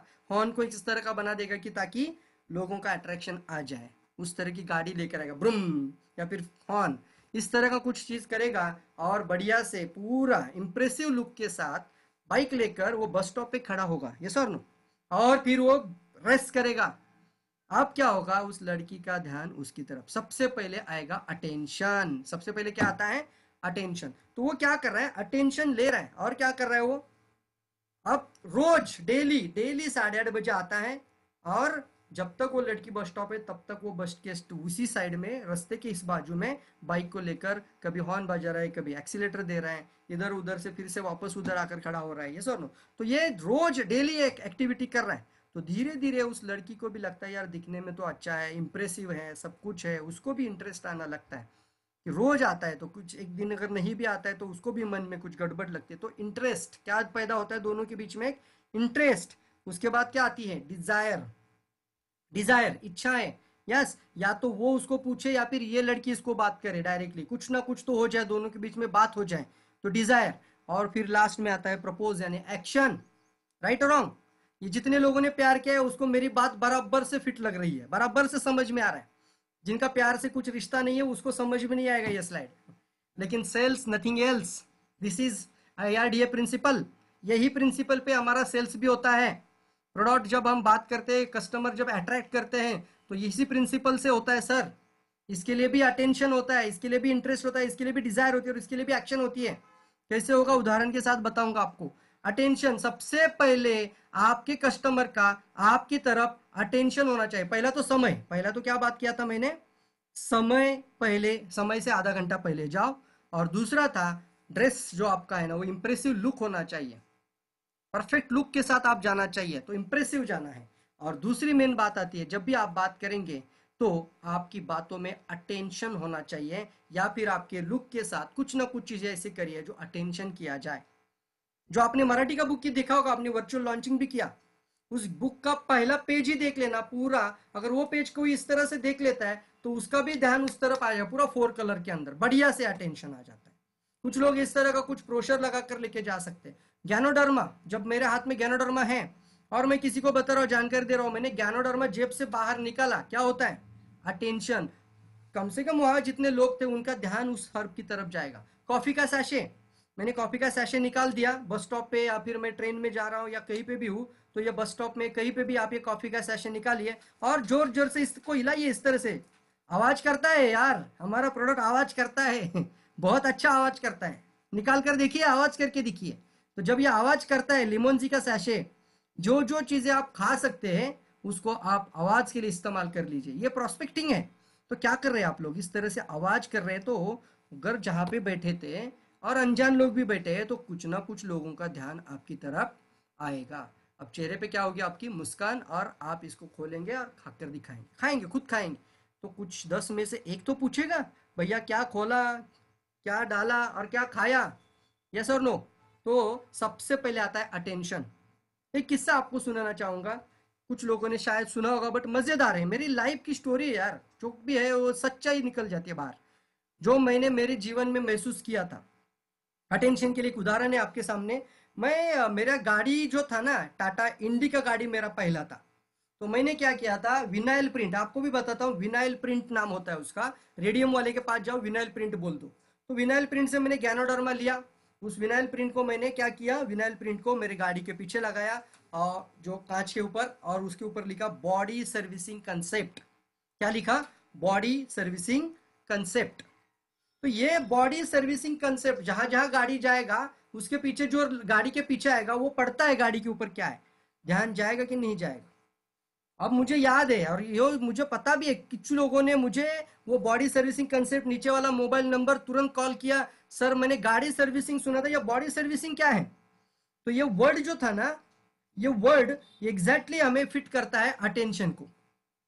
एग्जैक्टली exactly हमें एक जो होता है ना कि वर्ड ही हमें क्या करता है? अटेंश करता है कि, अरे बॉडी सर्विसिंग एक वो पर्सन था, मैं नासिक रोड पे जा रहा था और नासिक रोड पे मेरा गाड़ी, मैं नासिक के लिए मीटिंग के लिए जा रहा था उस समय पे और मेरे गाड़ी के पीछे गाड़ी आई थी और उसने मुझे कॉल किया और उसने मुझे पूछा, ये क्या है सर गाड़ी सर्विसिंग तो मैं सुनता हूँ बॉडी सर्विसिंग कंसेप्ट ये मेरे लिए पूरी तरीके से अनोखा है। ये क्या है?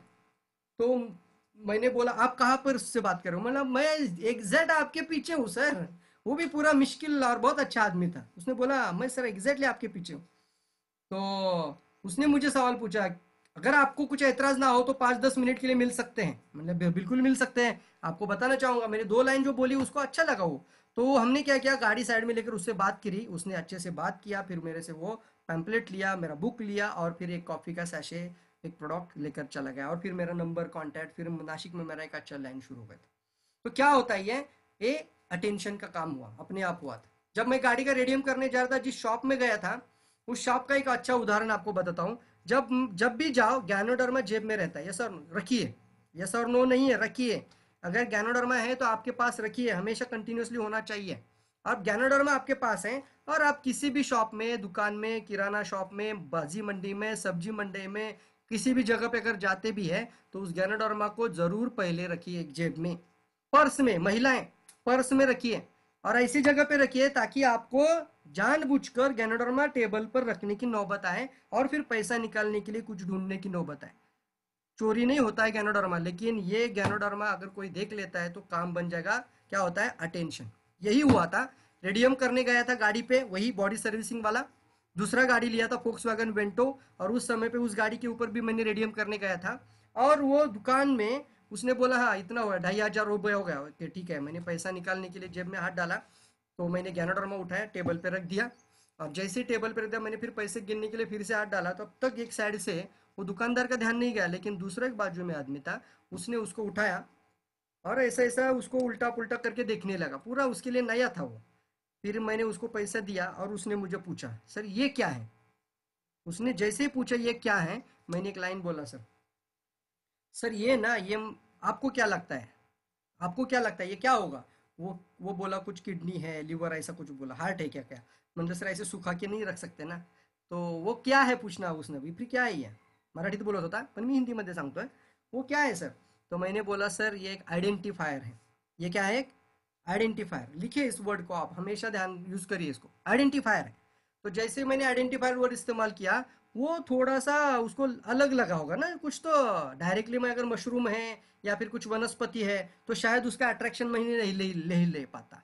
तो सबसे पहले मैंने क्या बोला? आइडेंटिफायर है। तो जैसे आइडेंटिफायर वर्ड इस्तेमाल किया उसने पूछा मतलब देखिए ये बहुत अच्छा आता है। व्हाट इज़ मीन इसका मतलब क्या है? तो मतलब सामने वाला आपको पूछता है कि टेल मी समथिंग मोर इसके बारे में मुझे थोड़ा और ज़्यादा जानकारी दो। तो ये बहुत इंपॉर्टेंट है, इसीलिए आपको बोल रहा अटेंशन इंटरेस्ट डिज़ायर एक्शन तो सबसे पहले अटेंशन आया, पहले क्या आया उसका? गैनोडर्मा की तरफ़ ध्यान आया। जैसे उसने उठाया, उसने पूछा, सर, ये क्या है? मैंने बोला आइडेंटिफायर तो उसको इंटरेस्ट आ रहा है। इसका क्या मतलब है? आइडेंटिफायर मतलब क्या है? फिर मैंने उसको लाइन में बोला था, सर, हमारे शरीर में अनगिनत प्रकार की खराबियाँ आती है।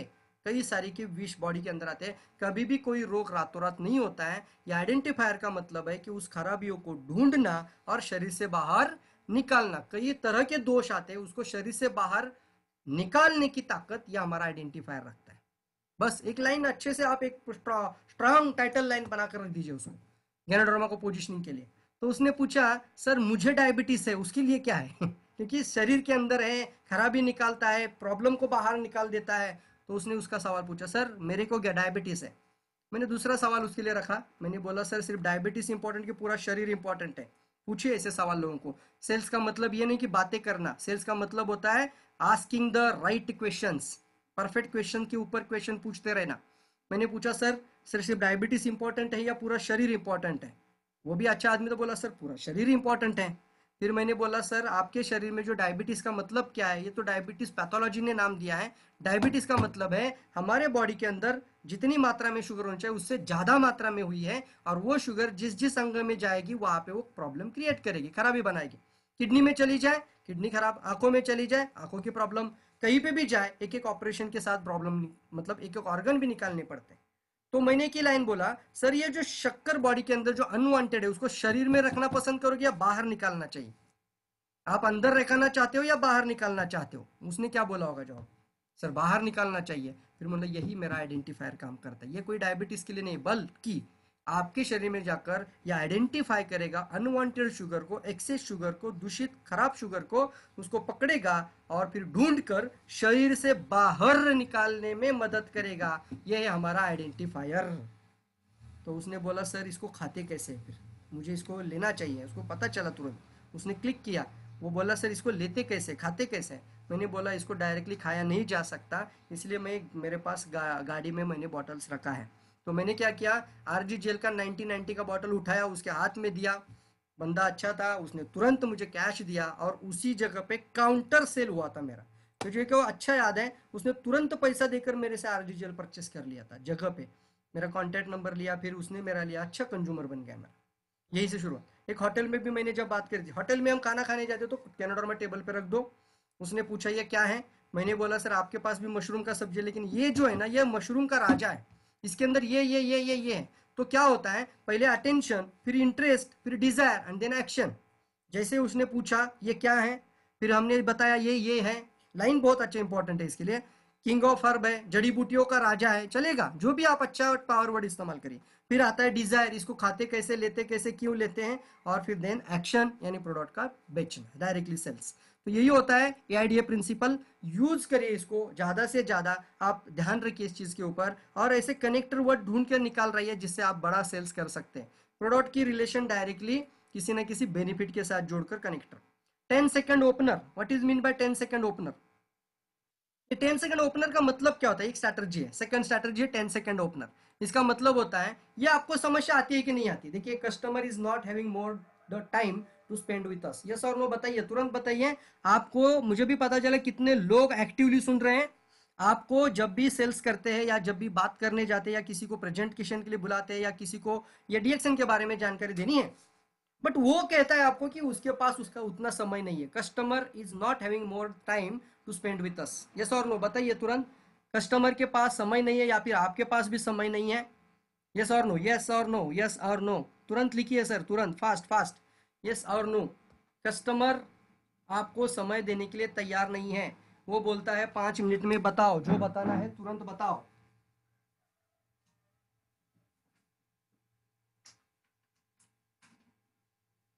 फास्ट बताओ, तुरंत बताओ। Yes yes yes yes yes very good very good very good क्या बात है? सब लोग सब लोग फास्ट वेरी गुड बढ़िया परफेक्ट आप पूरा अच्छा। Hundred and one percent sure hundred percent है ये। इसी कारण से हमारा बिज़नेस कभी कभी रुकता है। सामने वाला आपको बोलता है कि अभी तो मेरे पास समय नहीं है बट दो मिनट में या पाँच मिनट में कुछ है तो बताओ यार। पाँच मिनट में कुछ होगा तो बताओ। और यही पे प्रॉब्लम हमारी होती है कि पाँच मिनट में क्या बोलूँ उसको मैं? लेकिन मैं तो बोल रहा हूँ आपको सिर्फ़ टेन सेकंड दस सेकंड होता है सर मन के अंदर जाना। किसी का मन का दरवाज़ा खोलना, दस सेकंड के अंदर खुलना चाहिए घंटा नहीं लगना चाहिए, मन का द्वार खोलने के लिए। एक मन के अंदर लॉक होता है, दरवाज़ा है, पहले तो दरवाज़ा है माइंड के ऊपर। उसके ऊपर एक लाख है। और उस लाख की चाबी मास्टर की आपके पास है। किसी भी मन के द्वार को खोल सकते ऐसा चाबी आपको दिया है। रिएक्शन ने अब वो चाबी आपके पास है। कितने समय में द्वार खुलना चाहिए, बताइए। पंद्रह मिनट, बीस मिनट, एक घंटा, बताइए, तुरंत बताइए। बताइए, तुरंत, फास्ट फास्ट। सिर्फ़ कितने मिनट में दरवाज़ा खुलना चाहिए मन का? आधा घंटा, एक मिनट, ओके ओके। लिखिए लिखिए, जो मन में आए लिखिए। टेन मिनट में लिखना, ओके ओके ओके ओके, पाँच मिनट वेरी गुड अब बताना चाहता हूँ आपको, सर, सिर्फ़ दस सेकंड लगता है। क्या बात किया मैंने? दस सेकंड लगता है? Yes yes yes yes yes इसी को तो बोलते ना स्ट्रैटर्जी है। स्ट्रैटर्जी है सेल्स में, बात करने में। टेन सेकंड के अंदर, मन के अंदर छा जाना यार। टेन सेकंड बहुत ज़्यादा हो जाते हैं। टेन सेकंड बस टेन सेकंड टेन सेकंड अभी मैंने जो वो दुकान के बाहर मैंने जो वर्ड इस्तेमाल किया था आइडेंटिफायर है। मैंने क्या बोला था? यह आइडेंटिफायर है। तो क्या था वो? आइडेंटिफायर बोलने के लिए कितना समय लगता है? गैनोडर्मा लीजिए हाथ में। और यह आइडेंटिफायर है बोलने के लिए कितना समय लगेगा? सिर्फ़ दस सेकंड अब ऐसी बात बोल दी कि आइडेंटिफायर है तो सामने वाला पूछेगा ना मतलब क्या यार? मतलब वो क्वेश्चन में आ जाएगा, ये क्या बोल रहा है? मुझे बताओ क्या है? आइडेंटिफायर मतलब क्या है? तो ये टेन सेकेंड ओपनर हो गए। उसी तरीके से सिर्फ़ दस सेकंड के कुछ ऐसे वर्ड बनाओ, जो कि आपके प्रोडक्ट को सामने वाले को परफेक्ट फिट कर दे। किसी न किसी समस्या को सॉल्व कर दे। इस तरह के सॉल्यूशन बनाना ज़रूरी है। जैसे गैनोडर्मा का चाय। सिर्फ़ चाय बोलने से अच्छा है कि आप आज से शुरू कर दो। अल्कलाइन टी है। फ़ोन पे भी बोल सकते हैं ना? अरे यार, ये कोरोना जब से आया ना, तब से हमने अल्कलाइन टी पीना शुरू कर दिया। देखो, एक अच्छा पॉइंट मिल रहा है आपको। डायरेक्टली किसी से बात करेंगे। अरे, जब से कोरोना आया, अभी आप, अभी ज्वाइन किए तो अभी भी बोल सकते हैं। पुराने होंगे तो उसको क्या पता है आप कब से रिएक्शन कर रहे हैं। लेकिन बोलना, जब से यह कोरोना आया, तब से हम अल्कलाइन टी पीना शुरू किए हैं। अच्छा आप तो बोलेगा अल्कलाइन टी तो कितना सेकंड लगा उसको अल्कलाइन टी बताने में? कितना सेकंड लगा? सिर्फ़ दस सेकंड बस हो गया। सर, सामने वाला बताएगा, कोरोना आया और ये अल्कलाइन टी पीने लगा। मतलब क्या है? तो अल्कलाइन टी बोलने के कारण उसको आप फिर बता सकते हैं सर एसिड के कारण इम्यूनिटी डाउन होती है। रोग प्रतिरोधक क्षमता नहीं रखती है, लेकिन जिसका अल्कलाइन बॉडी होता है, उसका इम्यूनिटी अच्छा रहता है। ये हमें डब्ल्यू ने या फिर इसने बताया है। बस छोड़ दो, आप आयुष मंत्रालय ने बताया बोल दीजिए। तब से हमने पता चला, हमने अल्कलाइन टी को अपने को स्टार्ट करना शुरू कर दिया। तो ये तुरंत हो जाता है, दस सेकंड के अंदर आप ये टेन सेकंड के अंदर सामने वाले को अट्रैक्ट करते हैं। अब वो रुकता है, बोलता है, मुझे ज़्यादा जानकारी चाहिए मुझे। और बताओ क्या इसके बारे में? कभी भी कोई घर में आ जाए, आप बोलिए, चलिए, हम आज एक आरोग्यदायी कॉफ़ी पीते हैं, स्वास्थ्यवर्धक कॉफ़ी पीते हैं। हेल्थ ड्रिंक बोल सकते हैं।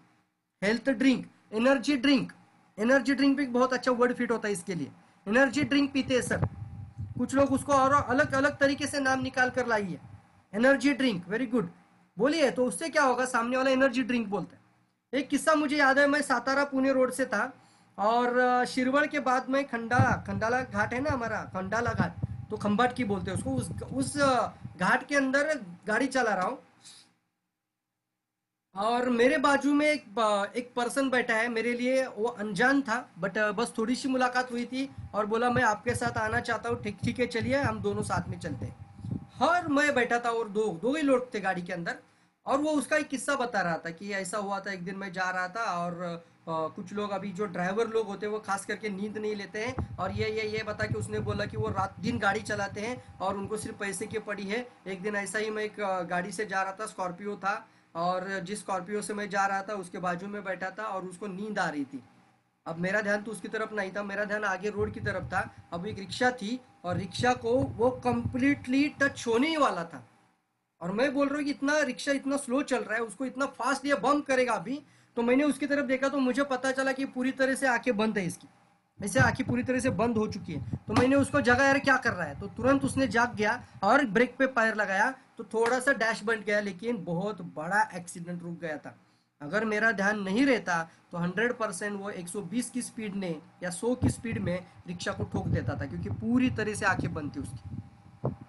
अब ऐसी सिचुएशन में आप क्या बताएँगे? मैंने उसको बोला, मेरी जीवन की कहानी आपको बता रहा हूँ जो जो मैंने मेरी लाइफ में जहाँ जाना मैं प्रोडक्ट सही तरीके से पिच किया था। मैंने तुरंत उसको एक लाइन बोला, इसलिए हम हमारी गाड़ी में, इसलिए हम हमारी कार में एक ड्राइवर ड्रिंक रखते हैं। क्या बोला मैंने उसको? ड्राइवर ड्रिंक रखते हैं। अब ड्राइवर ड्रिंक बोलने से वो इस तरह से बैठे वो बोल रहे ड्राइवर ड्रिंक का मतलब क्या है? कुछ लोगों को ड्राइवर ड्रिंक अलग लगा क्या शायद? लेकिन मैंने बोला ड्राइवर ड्रिंक तो बोला मतलब? तो फिर मैंने बोला, वो कॉफ़ी का बॉक्स ले। लड़का था ना उन्हें, वो कॉफ़ी का बॉक्स उठा ले। तो उसने कॉफ़ी का बॉक्स उठाया, उसको बोला, उसमें से निकाल, एक सैशे निकाल। तो उसने निकाला, फिर बोला, खोल और खा। क्या बात कर रहे हैं? मैंने कॉफ़ी हाँ खा।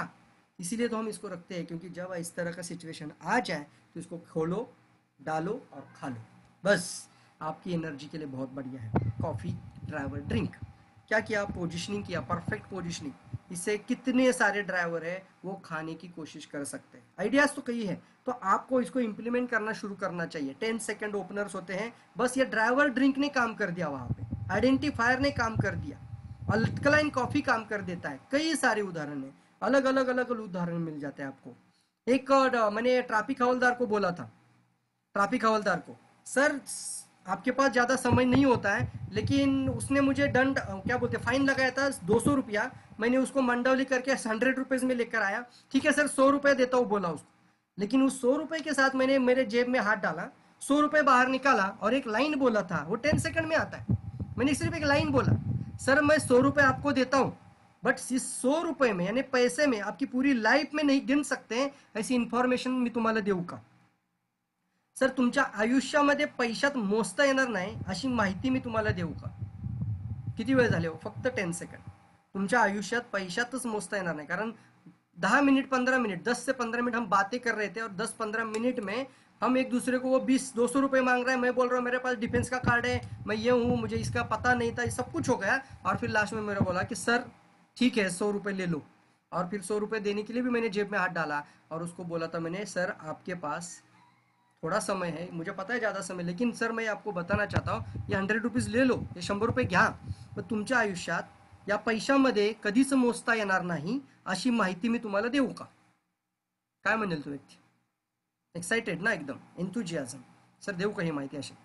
सर सर सांगा सर नाही म्हटलं पण हा काय आहे? बोल ना सांग ना काय राईट तिथून तो सेल्स झाला होता आणि अक्षरशः असिस्टंट कमिशनरपर्यंत पुण्याच्या पोचलो होतो मी. एका व्यक्तीच्या थ्रू तिथल्या इन्स्पेक्टरपर्यंत पी एस आयपर्यंत पी एस आयकडनं पुण्यातल्या डेप्युटी कलेक्टरपर्यंत आणि कमी डेप्युटी कमिश्नरपर्यंत माझं प्रोडक्ट गेलं होतं. This power of the only ten second opener दस सेकंड के अंदर बहुत कुछ छा जाते हैं। बस इन चीज़ों को समझ लीजिए create a space in customer mind with in ten second customer के मन के अंदर दस सेकंड के अंदर छा जाओ। सो so ये बहुत अच्छा है। आप भी अपने अपने लेवल पे, जो भी आप लिख सकते हैं, जैसे फैमिली ड्रिंक लिखा है, श्याम गुप्ता फैमिली ड्रिंक वाह तो सामने वाले के द्वार खोल देते हैं, मन के द्वार। ढक्कन खोलने वाले वर्ड्स निकाल लीजिए सर। सामने वाले का ढक्कन निकल जाए, ऐसे वर्ड निकाल कर लाइए। लिखिए, अगर आपको कुछ तुरंत याद आ रहा है तो लिख सकते हैं। ज्ञानोजी पेस्ट को लेके बात कर सकते हैं, चाय को, साबुन को। साबुन को ब्यूटी सोप बोलते हैं हम लोग राइट ना? हम ये नहीं बताते ना, ज्ञानोजी सोप लो। ज्ञानोजी सोप बोलेगा तो बोलेगा, कोई कंपनी का नाम बता रहे अब हम बोलते हैं ब्यूटी सोप लो। हाँ ब्यूटी सोप बोलने से ब्यूटी से कनेक्ट हो गया ये। Boost drink right boost is the secret of my energy कहाँ एनर्जी मिलती है वहाँ? क्या मिलता है उसमें? लेकिन आप एक स्पिरुलिना को या कोकोजी बूस्ट सीक्रेट बोल सकते हैं। कोकोजी को बोल सकते हैं आप एनर्जी ड्रिंक है।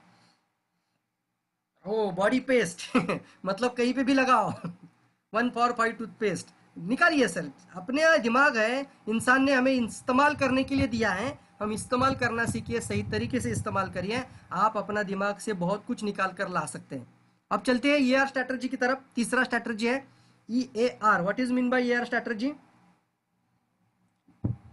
E A R E R strategy में क्या क्या आता है? पहले एंट्री फिर एंकर और फिर आता है रीच देखिए, जब भी हम किसी के घर में चले जाते हैं सॉरी किसी को प्रेजेंटेशन में जाना है या फिर आपने होम मीटिंग के लिए जाना है या फिर किसी ने आपको कॉल किया है, अभी मुझे याद करके बताइए, जब भी आपको कोई कॉल करता है तो किस तरह से कॉल आती है आपको?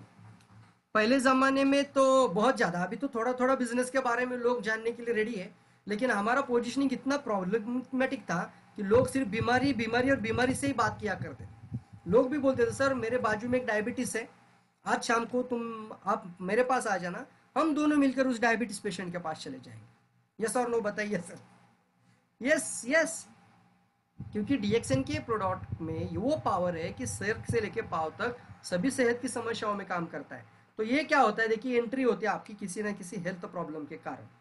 और ये सही है एक्चुअली हो भी रही है। जो हुआ है, जो होता है, मुझे पता है, आपको भी पता है। सबसे पहली एंट्री आपकी किसी न किसी प्रॉब्लम किसी न किसी समस्या, किसी न किसी हेल्थ प्रॉब्लम के कारण आपकी एंट्री हो जाती है। और जब आप एंट्री हो जाती है तो वहाँ पे जाने के बाद आपका ज़िम्मेदारी बनता है, आप वहाँ पे एंकर डाल दीजिए। एंकर का मतलब क्या था? प्रिवेंशन करना। प्रिवेंशन पे बात करना वहाँ पे जाके। और फिर आता है रीच करना मतलब मार्केट है रीच रीच होना। तो उसके लिए इम्यूनिटी मार्केट पे बात करना। ये तीन सेक्टर को पकड़कर ही आपका प्रेजेंटेशन होना चाहिए। सिर्फ़ गए और फिर आपने सिर्फ़ डायबिटीज़ या अस्थमा की बात करी। हाँ डायबिटीज़ है, ये खाओ। अच्छा ठीक है इंसुलिन लेते हैं। इंसुलिन के लिए आप ये खाओ, बहुत अच्छा है। रोज इंसुलिन लेना पड़ता है, किस दिन आपको नहीं लेने की ज़रूरत होगी। आप ये गेनाडोरमा खाओ और आप उठकर निकल आए। तो आपने सिर्फ़ एंट्री कर दिया था, कुछ ज़्यादा बड़ा काम नहीं हुआ। लेकिन जो दादा दादी को डायबिटीज़ था या दादा दादी को अस्थमा था, उसका बेटा बहू बेटी है वहाँ पे। उसका बेटा बहू को वो रोज देखते हैं, रोज इंसुलिन हाथ से लगाती है वो दादी। अपने हाथ से रोज इंजेक्शन लगाती है डायबिटीज़ का। वो दादाजी, और वो दादी रोज अस्थमा का पंप लेकर खाना खाने बैठती है या फिर अस्थमा का पंप लेना पड़ता है। अब वो बेटा और वो बेटी पिछले पाँच साल या तीन साल से देख रहे हैं।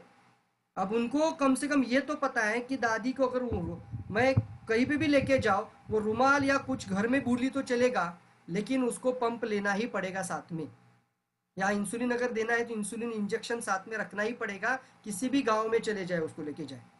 तो वो उनको पता है। अब हम ज़िम्मेदारी से बात करिए। आप जब उनको लेकर मार्केट कर रहे हो, उनको स्टार्टअप कर रहे हो तो प्रिवेंशन का मतलब आता है उस बेटा बहू की तरफ़ देखकर। थोड़ा इमोशन लाना पड़ेगा और इमोशन से बात कर कर उस बेटा बहू को एड्रेस करना पड़ेगा।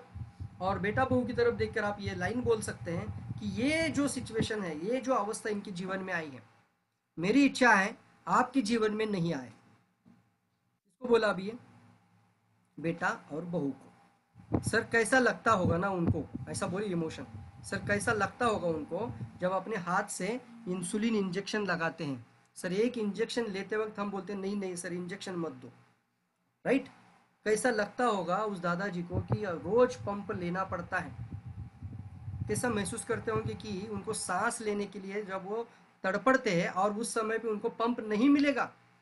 कहीं पे भी ऐसा हुआ होगा शायद, पंप नहीं मिलता है तो कैसी सिचुएशन होती है इंसान को तो मैं समझ सकता हूँ दादा और दादी की समस्या को और इनके दर्द को मैं समझ सकता हूँ। सर, मेरी मन से इच्छा है, आपके जीवन में ये नहीं आना चाहिए। इनका जीवन में रातों रात नहीं हुआ है।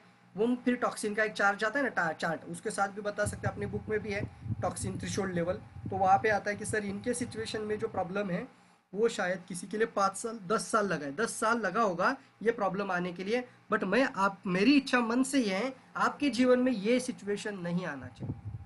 क्या करें इसके लिए? आप एक आर जी एक जी एल खाओ।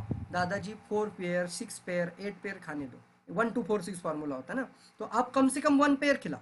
तो ये होता है प्रिवेंशन और रीच का मतलब होता है इम्यूनिटी मार्केट यानी उस छोटे छोटे बच्चों की तरफ़ एड्रेस करते हुए उनको कोकोजी कुकीज कोकोजी स्पायरुलिना स्पिरुना कुकीज या फिर स्पिरुना सीरल इस तरह के प्रोडक्ट को पीच करना ताकि आपके बच्चे भी सेहतमंद रहे।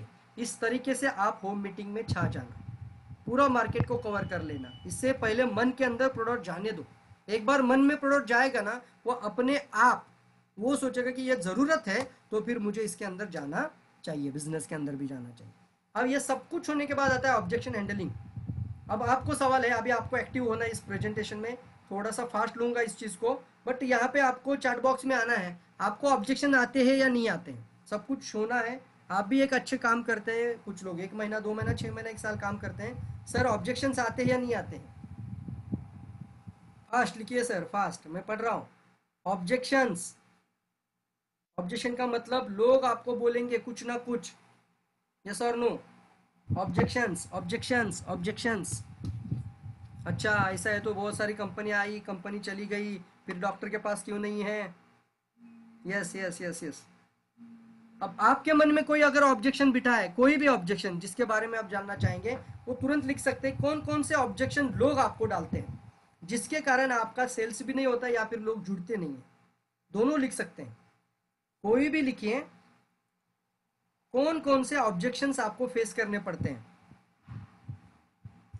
फास्ट बोलिए सर ऑब्जेक्शंस क्या क्या आते हैं? आपको ऑब्जेक्शंस अगर आके आते हैं यस बोला है ना आपने तो क्या ऑब्जेक्शंस आपको आते हैं? प्रोडक्ट महँगा है ओके और एम बी कुमार लिख रहे हैं प्रोडक्ट महँगा है. और क्या क्या ऑब्जेक्शंस आते हैं?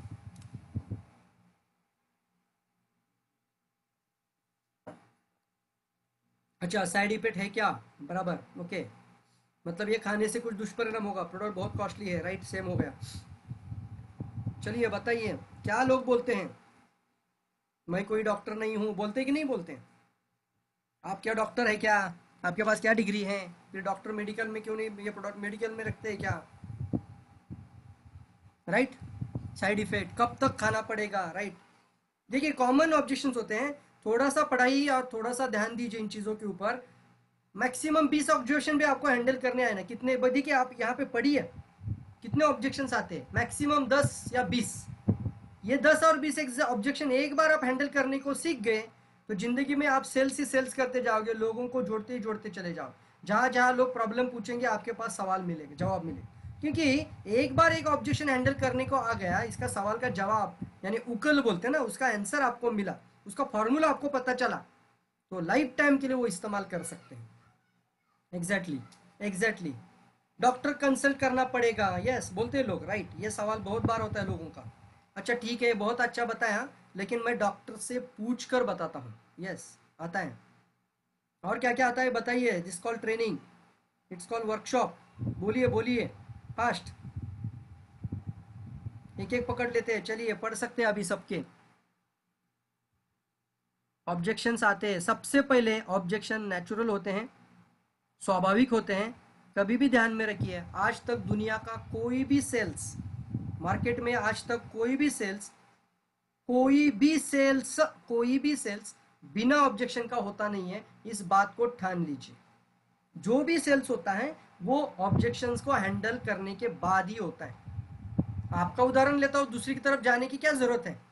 जब आप कोई कपड़ा लेने शॉप में चले जाते हैं, किसी दुकान में चले जाते हैं, आप एक कपड़ा देखने के बाद तुरंत पसंद करते हैं या सौ ऑब्जेक्शन होते हैं आपके पास?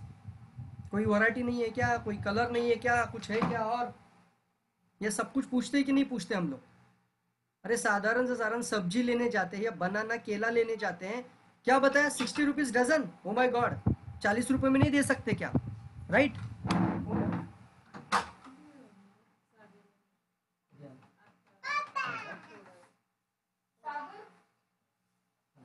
एक मिनट। है।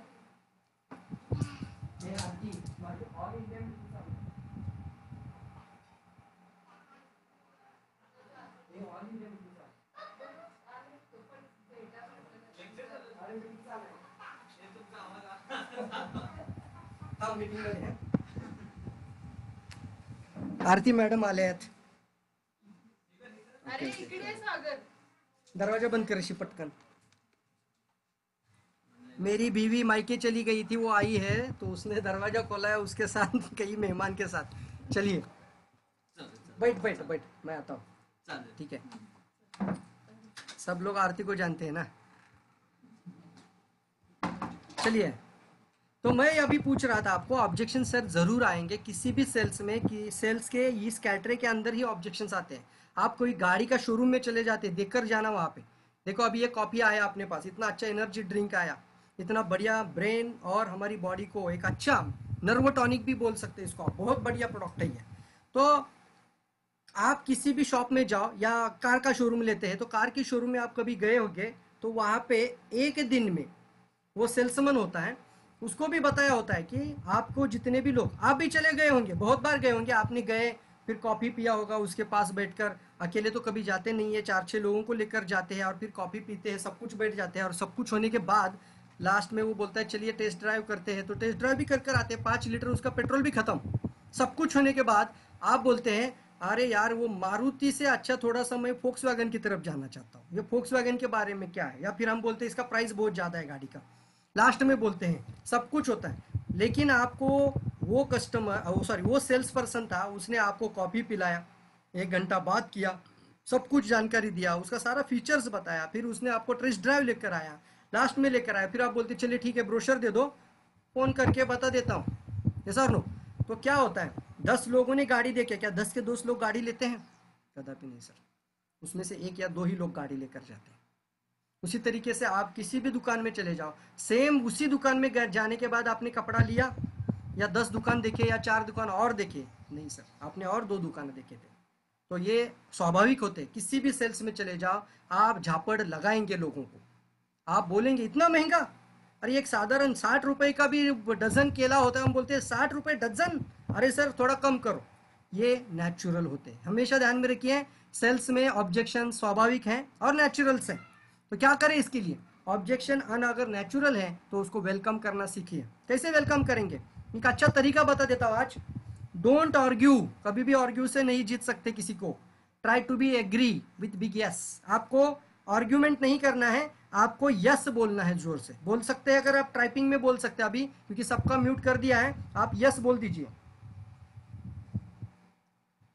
टाइपिंग में बोल दीजिए सर यस आर्ग्यू नहीं करना है। लिखिए लिखिए सर, आदत बनाना पड़ेगा आपको। ज़ोर से बोलते हैं हम। जब सामने वाला बोलेगा अच्छा बहुत अच्छा जानकारी दिया आपने, बहुत बढ़िया लगा सर। प्रोडक्ट ऐसा हाथ में लेते हैं, ऐसा घुमाते हैं। पहला ध्यान प्राइस की तरफ़, फिर बोलते हैं, बहुत महँगा है। अब हम क्या बोलेंगे? Yes sir yes yes yes बोलना। पहला यस सर कुछ साइड इफ़ेक्ट यस बोल दीजिए नो प्रॉब्लम कोई भी ऑब्जेक्शन हो, उस ऑब्जेक्शन को हमेशा यस से बोलना। क्योंकि मैंने एक लाइन बताया था पहले, मेरे हाथ को याद रखना हमेशा के लिए। कि इसी तरीके से ही आपका संभाषण होगा। इस तरीके से संभाषण नहीं हो सकता, इस तरीके से भी नहीं हो सकता।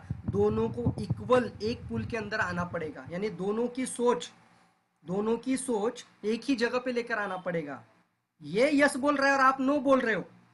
तो कभी भी संभाषण नहीं होगा, वो एक आर्ग्यूमेंट चलता रहेगा। हम बोला, महँगा? क्या बोल रहे हैं तुम महँगा? अभी हमारा दोस्त होता है, हमारा दोस्त बोलता है तुम्हारा कॉपी बहुत महँगा है। तो हम बोलते हैं, इसीलिए तो बोलता हूँ ना, तेरे को बिज़नेस कर। हम्म तू बोलता है महँगा है तो इससे अच्छा कि बिज़नेस करा हमारा। लेकिन आपने ऑब्जेक्शन नहीं हैंडल किया ना उसका। आपने क्या बोला? नहीं नहीं, हमारा प्रोडक्ट महँगा नहीं है। बिज़नेस करा हमारा देश। या फिर क्या करते हैं हम लोग? अच्छा तू महँगा बोलता है कुछ लोगों को तो हम, हमारा फ्रेंड होता है तो फ्रेंड को इस तरह से भी कुछ लोग बोल देते हैं। तू नहीं लेना चाहता इसलिए बोलते है, तू महँगा है। या फिर कभी कभी क्या होता है चार पाँच लोग बैठते हैं और चार पाँच लोग अच्छे से सुन रहे हैं और छठा लोग जो होता है वो बोलता है, महँगा है। और सारे फ्रेंड है आप। तो हम उसके ऊपर डांटते हैं। हम बोलते बता, कैसे महँगा है? तुझे कैसे लगा महँगा? बोल। कैसे बोल सकता है तुम महँगा इस प्रोडक्ट को? क्या कर रहे हैं आप लोग? सर, झगड़ा नहीं करना। कभी भी नहीं तोबा कर लीजिए। पहला यस बोलना, ज़ोर से बोल देना yes try to be agree with big yes big yes ज़ोर से यस होना चाहिए। और फिर आती है strategy feel fail found technique है ये फील फेल्ट एंड फाउंड इसका मतलब क्या होता है? पहले फील कराना, दोनों को फील कराना सेम इक्वल फिर फाउंड और फिर ये टेक्निक आता है। फील फेल्ट एंड फाउंड जैसे सामने वाला बोला कि ये आपका प्रोडक्ट सर महँगा है। तो आप क्या बोलेंगे? नहीं, हमारा प्रोडक्ट महँगा नहीं है। फिर आप कन्विंस करेंगे उसको, कैसे महँगा नहीं है? रॉन्ग गई भैंस पानी में। सब कुछ एक घंटा बात किया, फिर महँगे के ऊपर आप इसको ऊपर डेबिट के डेबिट पर करते बैठेंगे। नहीं होगा। इससे अच्छा है, पहले बोलना हाँ सर एग्जैक्टली आपने बराबर बोला। हाँ सर एग्जैक्टली आपने बराबर बोला। तो बोलेगा, क्या होता है? उसे हाँ बोलने से वो डायरेक्टली आपके लेवल पे आ जाता है। वो यहाँ पे चला गया था, महँगा है। आपने बोला हाँ सर एग्जैक्टली आपने बराबर बोला, ये यहाँ पे आ जाएगा। अब वो सुनने के लिए तैयार हो जाएगा कि आप क्या बोलना चाहते हैं। हाँ सर, बराबर है आपका। फिर आप बोलना, जब मैंने डीएक्सन को देखा था और जब मैंने प्रोडक्ट को पहली बार लिया था तो मुझे भी आपके जैसा ही सेम लगा था। तो आपने क्या किया? Feel and felt feel and felt तो मैंने जब ये प्रोडक्ट देखा था, मैंने लिया था और मैं ये प्रोडक्ट लेना शुरू किया तो शुरुआत में सेम आपके जैसा मुझे भी लगा था कि ये प्रोडक्ट महँगा है। बट सर मैं आपको एक बात बताऊँ रियल जब मैंने इसको कंटिन्यूसली यूज़ करना शुरू किया तो मेरे इतने प्रॉब्लम थे, ये सारे के सारे चले गए, तब पता चला इस प्रोडक्ट की कॉस्ट या प्राइस पैसे में हो नहीं सकती. तो क्या कर रहे हैं आप? Feel felt and found sir मैंने जब कॉपी पहले देखा था बॉक्स के ऊपर, तब मुझे भी लगा ये महँगा है. लेकिन जब मैं घर लेकर आया सर इसको अब क्या किया आपने उसको शांत किया पहले? सर मुझे भी लगा पहले महँगा है. बट जब मैं इसको घर में लेकर आया और हमने बनाने की कोशिश करी तो पता चला कि इसमें दूध डालने की ज़रूरत ही नहीं है। इसमें दूध डालने की ज़रूरत ही नहीं है। तो तब पता चला कि आज तक तो मैं दूध में ही एक हज़ार रुपए खर्चा करके आ रहा था। दूध का मेरा एक हज़ार रुपए का खर्चा आ रहा था। ये कॉफ़ी नौ सौ रुपए का कॉर्डिसेप लिया, उसमें ऑलरेडी दूध है। तो मुझे अलग से दूध डालने की ज़रूरत ही नहीं। तो मुझे तब पता चला, ये प्रोडक्ट बहुत ही अच्छा और सस्ता है। तो क्या करिए आपने? बहुत तरीके से उसको आसान तरीके से कनेक्ट किया। कन्वे किया और लास्ट में कन्विंस की तरफ़ लेकर गए। फिर आप बताएँगे उसको यस सर तब पता चला ये प्रोडक्ट बहुत सस्ता है। कुछ लोग इस तरह से भी बात कर सकते हैं। सर जब मुझे लगा था ये प्रोडक्ट महँगा है बट जब मैंने इसको घर लेकर आए, या फिर मैंने एक ऐसे आदमी को दिया था ये प्रोडक्ट जिसको दोनों पैर में डायबिटीज़ हुआ था, जख्म हुआ था डॉक्टर बोले थे दोनों टांगे काटनी पड़ेगी। अब डॉक्टर के पास एक ही रास्ता था, टांग कटवानी पड़ेगी। और मुझे ये प्रोडक्ट के बारे में पता चला और मैंने हमारे बाजू के एक व्यक्ति को दिया या फिर आपने नहीं दिया होगा तो भी बोल सकते हैं, आपके परिवार में डीएक्सन के फैमिली में किसी ने किसी को दिया था आपके गाँव में जो रियल है वो बात करना, लेकिन बड़ा चढ़ा कर नहीं। आपके जो टेस्टिमोनियल पता है ना पावरफुल टेस्टिमोनियल उसको उजागर कर दीजिए उसके सामने अभी। वो आपको रास्ता अभी है, वहाँ पे। गैनोडर्मा के बारे में बात करें, वो बोल रहे हैं, महँगा है। आप बोलना, मेरे बाजू में एक व्यक्ति को या मेरे गाँव में एक व्यक्ति को, मेरे शहर में एक व्यक्ति को, जो भी है आपको ये प्रॉब्लम था और पहले मैंने जब इसको बताया, मैंने जब देखा, मुझे भी लगा ये प्रोडक्ट महँगा है। लेकिन मैं एक ऐसे व्यक्ति को जानता हूँ जिनको टांग कटवाने को बोला था, जिसका एक लाख रुपए खर्चा था।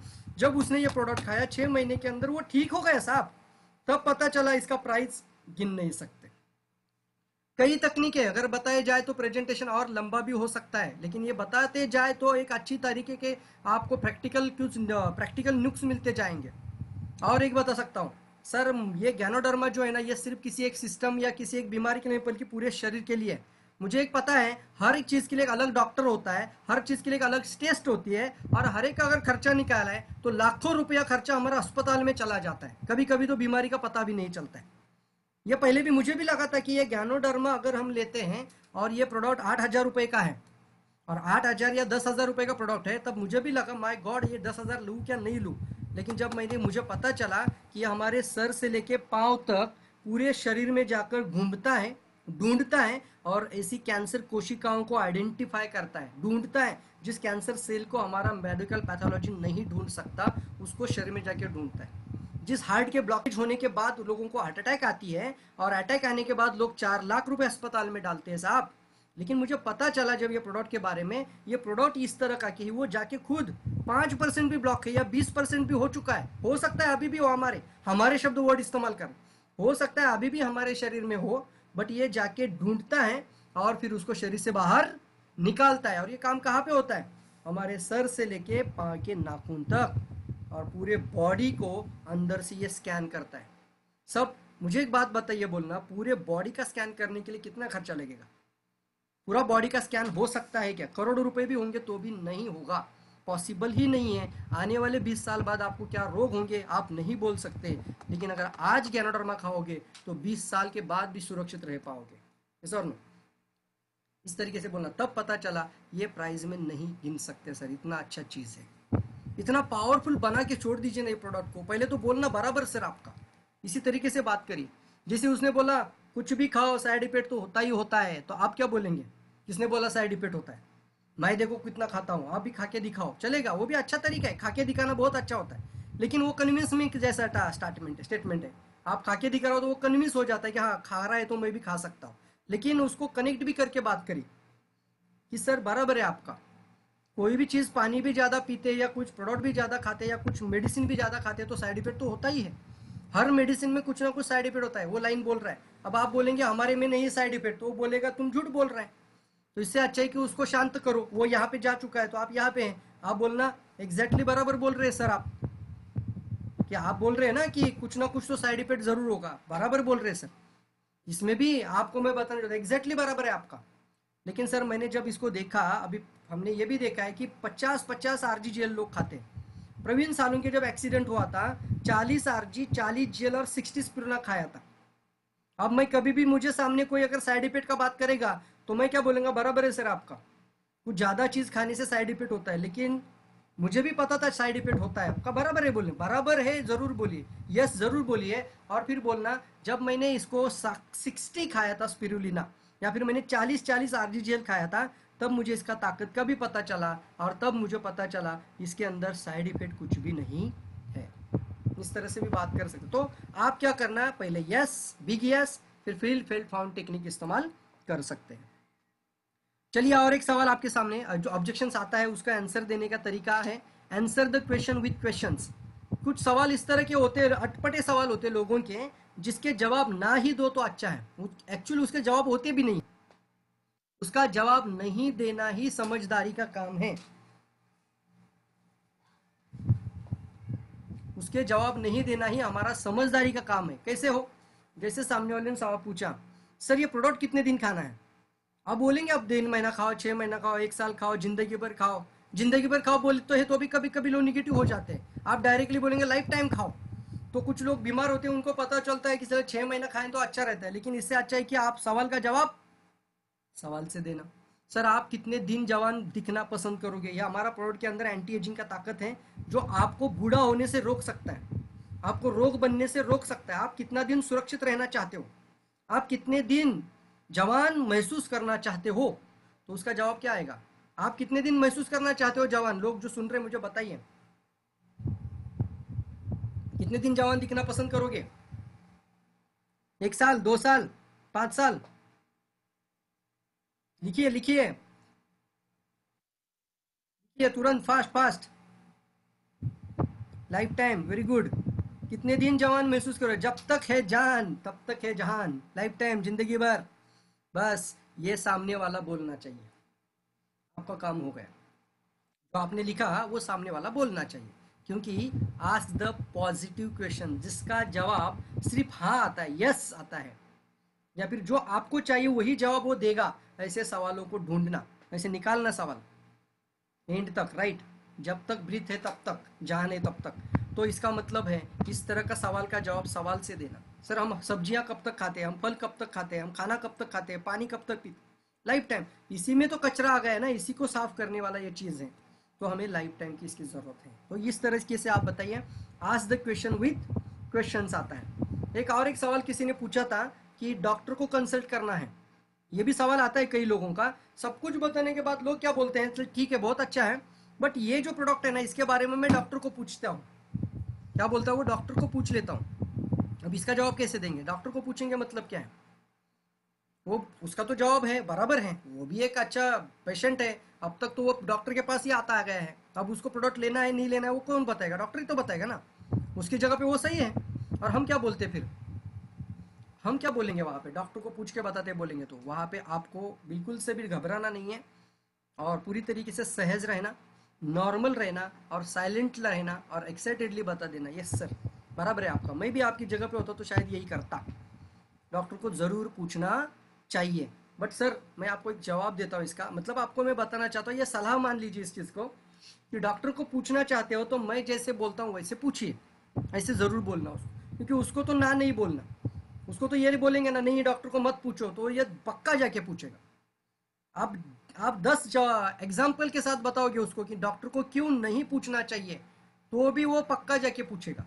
क्योंकि आपने पहला ही क्या बोला, नहीं नहीं डॉक्टर को मत पूछना।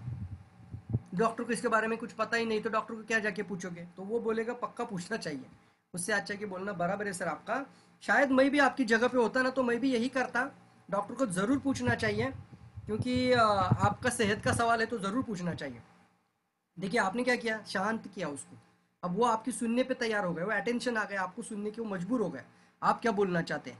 अब आप बोलेंगे, सर, लेकिन एक सलाह ज़रूर दूँगा आपको। ज़रूर पूछिए बट एक सलाह है मेरी आपको। क्या है सलाह?